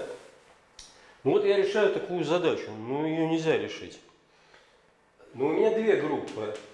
Ну, значит, э, ну, э, э, ну, вот, ну вот как ее можно решить. Значит, вот здесь вот есть еще окружности. Мне нужно, значит, знать, что есть образующая вот этой окружности. Если б та это, если бы вот эта вот группа, вот это она там никуда не представлена, но вот если вот эта группа не на окружности была бы, а просто, допустим, э, ну вот есть образующие вот этой окружности, они трехмерные сферы. И вот я могу эту образующую саму распознать э, как элемент. На трехмерной сфере он бы- был бы равен нулю, а здесь на окружности это единица. Значит, я делаю следующее. Я вот эту диаграмму э, немножко переписываю и, значит, э, де- делаю здесь э, вот такую диаграмму. Да, вот, вот что я хочу сказать. Пользуясь вот этой структурой, я сейчас, я сейчас определю отображение, значит, отсюда группу Z2, которая не является гомоморфизмом, но которая, значит, ну, так, ну, такое отображение, которое коммутатор переводит в единицу. Не гомоморфизм, но вот в явном виде напишу отображение, которое коммутатор двух элементов переводит в единицу. За счет того, что здесь вот есть вот это образующее на окружности, спин-структура. Здесь я сделаю то же самое, потому что здесь такая же ситуация. Тогда сумма этих двух уже будет гомоморфизмом. Вот в этой группе, значит, э, э, есть вещь, коммутатор, который мешает построить гомоморфизм. В этой группе есть коммутатор, который построен, мешает построить гомоморфизм. Вот это отображение строится совершенно явно, это алгебраически. А сумма этих двух отображений уже будет гомоморфизм, и он будет требуемый. Вот этот вот гомоморфизм, он, значит, переводит э, вот эту ручку в Z2, э, и вот если я ее сюда вот, э, значит, наверх, то он будет такой, как здесь P заказан. Один гомоморфизм пропадет, а именно вот из нормальной структуры пропадет, а второй сохранится. И все тут, значит, сойдется. Ну вот, сейчас я еще раз, э, еще я одну диаграмму напишу. Э, Значит, вот э, есть такая диаграмма, значит, R16. Здесь тоже будет Q-head, R16 head. А здесь я немножко сделаю по-другому. Здесь я возьму, э, э, здесь я возьму Q, допустим, 16, а здесь я возьму, э, значит, Q э, 16. Вот так вот. Значит, вот это вот многообразие, оно, э, э, значит, вот это многообразие, оно э, сюда вкладывается. Но вот это вот более, значит, богатое. Я сделаю следующее. Я вот это многообразие L посмотрю вот на этом многообразии. А над этим многообразием есть вот это многообразие L. У меня вот это вот К, извините, вот оно К, вот оно живет, вот, вот оно проектируется на L, вот это К14, но оно живет вот здесь. Вот. И вот эта трубка, это нормальная трубка вот этого L, вот это К, вот здесь она живет. Я сделаю следующее. Я возьму там окрестность вот этого К, или даже вот все многообразие, и смоделирую сверху вот, вот это расслоение ню тензорно на лямбда над всем вот этом многообразии. Получится нечто 16-мерное. Вот мне удобнее работать с вот этим многообразием. Оно имеет, если я вот это К возьму, то здесь получится следующее, что вот это вот К здесь лежит, и тогда, если я хочу взять окрестность этого К, то вот в этом нормальном расслоении, я когда пока хожу, я должен тоже подкручиваться в соответствии со структурой нормального расслоения. Но я хочу э, независимо подкручиваться вот в этом нормальном слое и ходить на К. Значит, вот у меня вот это вот пространство, оно шире, оно имеет доп- дополнительную еще образующую, вот которая здесь пришло. А если я вот пока хожу и должен, э, когда К вот сюда отслеживаю, я должен еще вот так вот ходить ровно по той координате, по которой я вот здесь с L на К хожу. Ну вот это более удобно. Теперь, что такое Q? Ну Q это просто, значит, вот эту вот петлю, которая вот здесь вот, крест S1, я ее размотал. Ну, потому что здесь есть, значит, вот это вот накрытие, оно разматывает э, вот это вот, э, то, нижнее накрытие в башне. Значит, это вот я перешел на двулистное накрытие, это вот это. А это у меня разматывает вот эту вот бисектрису. Ну, значит, я вот здесь вот ее размотал. Вот такую диаграмму написал. Значит, R я определил, это то же самое, что К, но только более толстая. А координаты тут такие, что надо взять координату на m и еще координату на слое. Ну, скрученную по фи. Теперь, э, значит, я говорю следующее. Я, чтобы построить этот гомоморфизм, я сейчас определю некоторое геометрическое отображение. Ну, первое, что, во-первых, вот это r, оно э, вот от- отображается в Z2, но только не здесь оно отображается, а вот здесь вот. Вот это отображается в Z2, потому что мы здесь сидим, и по первой координате у нас есть проекция на Z2. Вот. Теперь я хочу сказать следующее. Э, э, Я теперь возьму э, вот в в этом, в это двулистное накрытие. Здесь еще, значит, э, я тоже перешел сюда. Но здесь-то есть, конечно, отображение э, в Z2, но и здесь есть. Э, Теперь, значит, смотрите, что я делаю. Я хочу,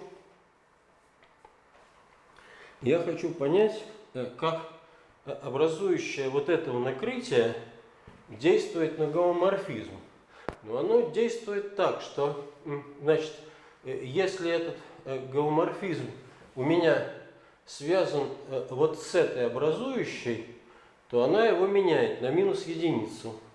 Значит, вот здесь вот э, есть накрытие, извините, наоборот, вот здесь есть, вот здесь вот есть петли на этом многообразии, которые устроены так, что вот если их отслеживаю вот в этом, вот в этом диске, то это вот либо замкнутые петли, когда они пришли отсюда, либо это вот такие кусочки, которые связывают симметричные точки, где эта симметрия означает, что вот я здесь нарисовал сечение, а вот это вот у меня связь, что две точки вот в этом накрытии ра- распались. Значит, вот это вот у меня накрывающее пространство, а здесь вот в, в два, в два класса смежности вот эти точки пришли. Я вот это вот отображение в Z2 устрою так. Я возьму, вот если это замкнутая петля, то я просто скажу, что это число сам пересечения вот этой вот проекции вот на это расслоение, но э, бе- без скрутки по фи, потому что здесь все вот э, э, уже вот скрутка идет вот вдоль этого направления с вот этой вот выделенной бисектрисой. А здесь вот отрезочек, это количество точек, вот эти вот точки инволютивные. А вот эта штука, она инвариантна относительно инволюции. Вот количество точек пересечения вот этого отрезка с положительным лучом. Вот если он с отрицательной стороны, то нет точек, а с положительной, то есть. А теперь, если я вот подействую классом смежности, то у меня вот этот лучик вот сюда вот завернется, и поэтому отображение прибавится единица. Значит, вот если я вот на таких петлях, которые не пришли здесь, то оно обязательно э, при действии образующее вот этого накрытия поменяет плюс на минус. Значит, это не будет геоморфизмом. Но ровно такой же, ну я вот хитом его обозначу, но ровно такое же правило для проекции вот это, на это А. Значит, на А то же самое. Если я спроектирую из этого отображения на А, это уже не связано с, с- с петлями в нормальном расслоении, то когда я подействую инволюцию вот этого накрытия, у меня, значит, произойдет следующее. У меня э, э, эти точки переставятся. Значит, ну вот это, это вот так, вот у меня какое пространство маленькое? У меня э, стрелки идут, вот это маленькие пространства, стрелки идут в эту сторону, я перепутал. Вот эти вот на базе, это более, вот база глинственного накрытия вот здесь. Значит, если я вот и с классом смежности подействую на вот этот геоморфизм, к нему добавится единица, если он не пришел отсюда. И ровно то же самое произойдет с этим геоморфизмом А. Если он не пришел отсюда, из класса смежности, то когда я подействую вот этим накрытием, то у меня будет коммутатор ну, а маленького с а большим. На коммутатор а маленького с а большим это э, а квадрат. Ну, это b, b квадрат. Значит, если я возьму так, так, и потом в обратную сторону. Ну, в общем, ну, это, ну, это минус единица. Значит, а, а большое, а, а большое. Это, это минус единица. Вот это вот. Ну, потому что а, а маленькое с а большим переставляется некоммутативной группе, будет минус единица. Центральный элемент. Значит, я геометрически строю вот этот вот гомоморфизм, который на когомологическую длину не повлияет. И у него э, правило в классе сопряженности такое же, вот, что он, э, э, и он дает в сумме с тем, который я хочу, гомоморфизм. Ну дальше вот у меня такая техника, что я должен бороться с расширениями. Дело вот в чем, что вот, вот если вот эта, геометрич, вот эта геометрическая конструкция проходит, если у меня э, вот на этом многообразии либо две бисектрисы одновременно переставляются, то есть она не во всей группе диэдр проходит, а в подгруппе, в которой нет э, сопряжения одного вот э, фактора, а второй есть.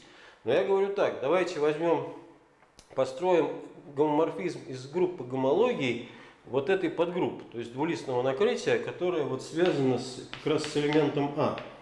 То есть э, нельзя один фактор поменять, а второй оставить. Но вот на этой подгруппе вот это геометрическое отображение корректно определено, и там все сходится. А дальше на всю группу, ну я продолжаю просто, э, раз я из неориентированной группы гомологии уже построил гомоморфизм, то на всю группу она просто продолжается, потому что если, я, если у меня есть подгруппа индекса 2, и я знаю, что это подгруппа индекса 2, а это класс, э, э, класс вот этого линейного слоения, ядро этого класса это подгруппа индекса 2. Если я на подгруппе индекса 2 уже построил гомоморфизм, то на всю группу он просто продолжается двумя способами. На, классом, э, на класс сопряженности можно двумя способами продолжить. Либо так, либо сяк. А на подгруппе он уже задан. Но поэтому легче, значит, такую башню делать, что сначала вот на внутреннюю. На внутренней есть геоморфизм, который вот я тут набрал из диаграммы в виде суммы двух таких вот геоморфизмов с внутренними коммутаторами. Ну, дальше продолжаю вот на внешнюю.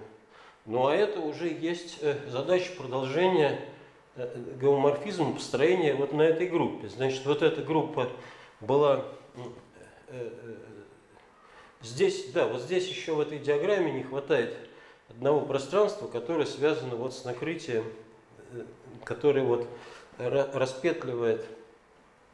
Ну вот факторы не могут поодиночке переставиться, только либо вместе, либо вообще в нормальном расслоении.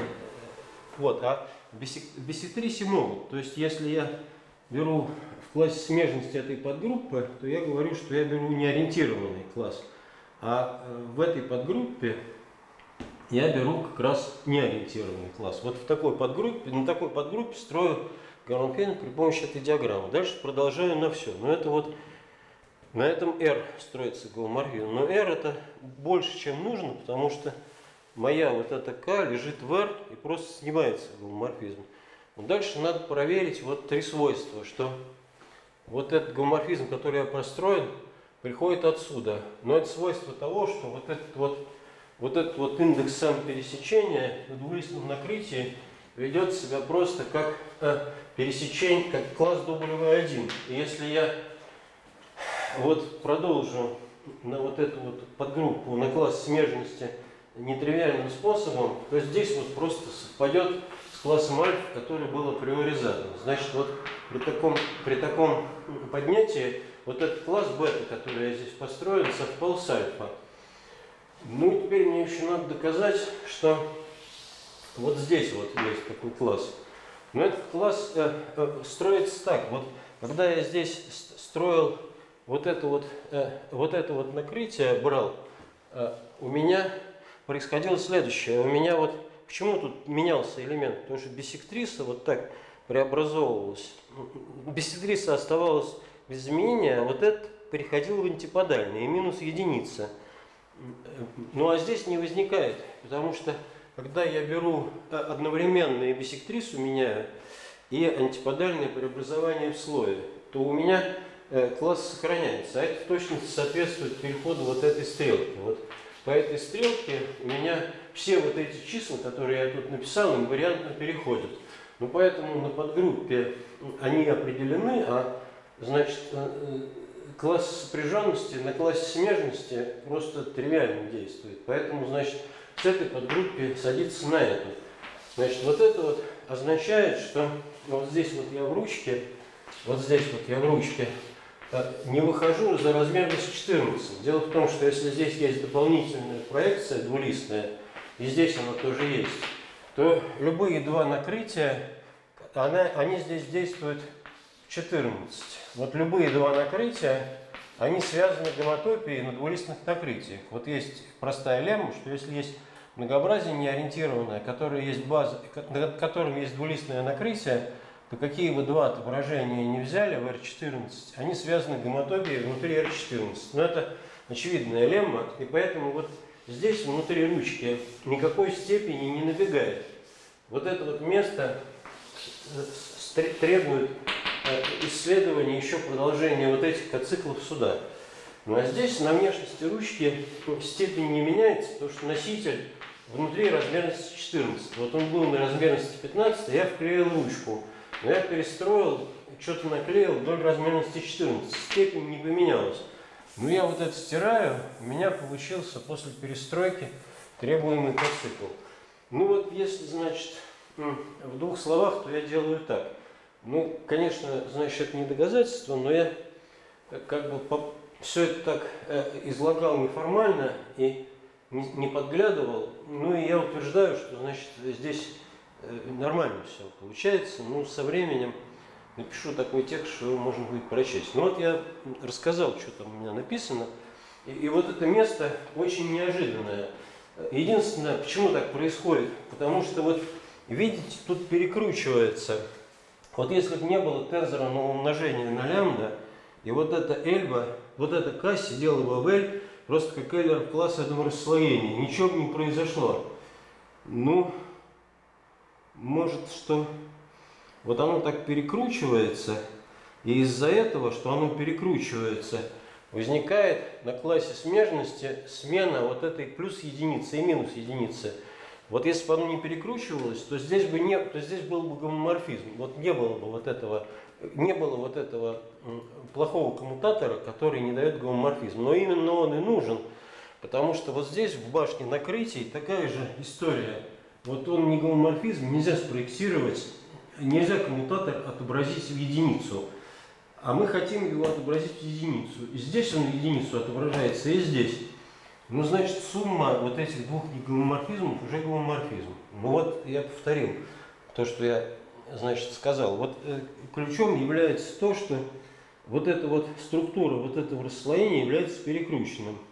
Когда мы ходим вот здесь вот по петле, вот когда в классе смежности этого накрытия у нас структура вот этого накрытия, где мы отслеживаем вот это геометрические индексы пересечения – переворачивается. За счет того, что оно переворачивается, а сечение не переворачивается. А сечение остается. Накрытие системы координат переворачивается, а сечение инвариантно происходит. Вот эти отрезочки, которые должны в то же самое число отображаться, при действии вот этого генератора отображаются в разные числа. Но именно это нам и нужно. Ну а вот это геометрические вот эти отрезочки, они вот здесь вот на этой диаграмме не видны. Значит, вот здесь алгебраические компенсируются геометрическими, но вот здесь на двулистом накрытии эти геометрические съедаются, и они никакого вклада в класс P не дают. А вот э, в класс P вот этот вот, вот этот вклад дает. Ну вот такая вот э, хитрая штука, которую я хорошо обдумал, но действительно э, таинственная какая-то вещь. Единственное, что меня, ну вот э, написано, значит, что Махавальт использует спин-структуру. Вот, я использую спин-структуру, вот здесь вот на этой окружности спин-структура. Группа диэдра поднимается в группу, спиновую группу диэдра. Значит, если, наверное, как-то это делать по-человечески, то нужно делать алгебраические расширения вот этой вот группы структурной, и за счет этого э, э, расширения строить отображение в группу 16 элементов, это вот как раз поднятие в спин-структуру, и потом, значит, зацепиться и здесь вот строить геоморфизм, который на двулистном накрытии через вот этот дополнительный элемент, который там в глубине коммутатора, вот он геометрически здесь вот э, описан. Ну, то есть это то, что есть, а э, понятное доказательство, наверное, было бы, э, ну, оно, в общем, доказа, доказательство ну, очень хорошо проверено, но я не могу его лучше изложить, вот так вот, извините. Все, я закончил. О, я уложился, 10 минут у меня еще. Есть вопросы?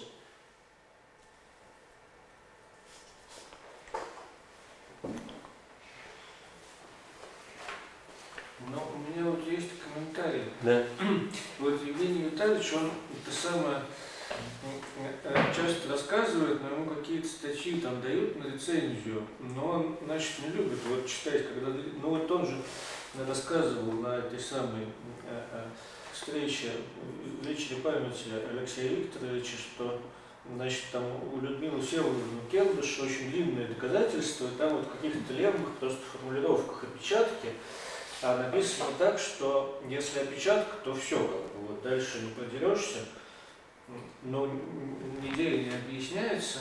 И вот он, значит, как-то очень э, всегда не любит, вот, когда ну, нужно формально так читать и проверять все формально. Он, значит, предпочитает смотреть как бы в целом на все доказательства, вот, есть ли там какие-нибудь внутренние противоречия, там, похожие там, на правду.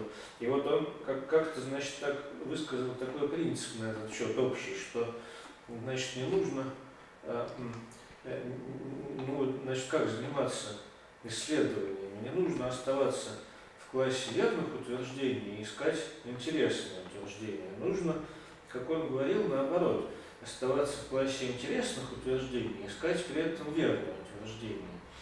Но вот мое замечание в том, что мне кажется, к этому принципу нужно сделать небольшую добавку, что, конечно, это хорошая идея, но нужно оставаться в классе интересных утверждений, которые одновременно еще достаточно простые, и искать при этом верные утверждения. Вот так я считаю более надежным, потому что если интересные утверждения, но очень сложные, которые необозримы, как бы, то уже, значит, теряет это несколько смысл. Ну вот это, значит, Ну, не, ну здесь это самое, здесь можно все понять. Э, Ну, ну я э, как так стал, э, ну я понимаю, да, что вы считаете, что ничего не доказано, но я сделал, что мог. Я очень написал текст, э, ну вот я сказал, что нужно будет, э, ну это, ну в общем Евгений Витальевич, да, он это самое, э, как бы мне помогает, а вы наоборот мешаете. Но это правильно, так Ну, и я должно быть. Вы должны, вы крит- критиком, критиком выступаете, а он как бы является, э, задает направление, по которому я иду. Но я с этим не спорю. Ну, со временем это все устаканится. Вот я все, что самое главное у меня в жизни было, вот я сегодня изложил. Вот эта вот конструкция, она исключительно важна. Вот, ну и ну, повторим ее э, э, через некоторое время, потом еще повторим, и там она, э, значит, в конце концов, может там она исправляться, ну вряд ли она будет исправляться. Я уже ее очень, ну и со временем, значит, ну я вот э, больше, больше кроме этого ничего рассказывать не буду. Вот я только вот это вот буду рассказывать. А здесь вот что важно что вот это вот накрытие, да, вот видите, вот это требуемый элемент получается вот этой вот, вот этой вот композиции. Вот, вот эта вот композиция, она перестроенная, скоснощенная, один вектор. А здесь двулистное накрытие, я его не порчу. Ну, потому что вот я ручку-то вклеил, на ручку продолжил P. То есть у меня элемент, элемент получается композицией некоторого погружения с э, по размерности 1, с накрытием. И вот если кто из работы Махавальда это может вытащить, то вообще все, что я рассказывал, это не нужно. Ну, язык плохой, там доказательство сложное, утверждение неинтересное, к тому же оно уже было. Вот, и значит, я это там в 10 раз сложнее рассказываю, значит, у Махавальда там это все просто, красиво, алгебра, а здесь это ерунда все. Но вот это рассуждение все-таки самое важное для меня на настоящий момент, что вот этот вот элемент, который имеет инвариант Хопфа единицы, получается композиция двулистного накрытия максимальной космологической длины с погружением по размерности 1. Но это, это нельзя из работы Махавальна вытащить. Если вы ее когда-то посмотрите, там, ну, в конце концов, конечно, вытаскивается, потому что тот же самый элемент, но на это, на это акцент там не делают. Но вот, вот это вот я сделал такое замечание, что мне вот из этой конструкции нужен не только элементы Махавальда, но и их свойство геометрическое. Этим геометрическим свойством я собираюсь воспользоваться отдельно. То есть вот я скажу так, что я вот это все рассказал, но это там, я не буду говорить, что это там все, это там верно, неверно, но вот я это все рассказал. Но вот начиная с этого места, если я этим воспользуюсь, то значит вот э, обобщенная проблема Кирвера будет решена положительно, и это вот простое рассуждение. Оно действительно там занимает две страницы доказательства, но оно опирается вот на, это, на этот факт.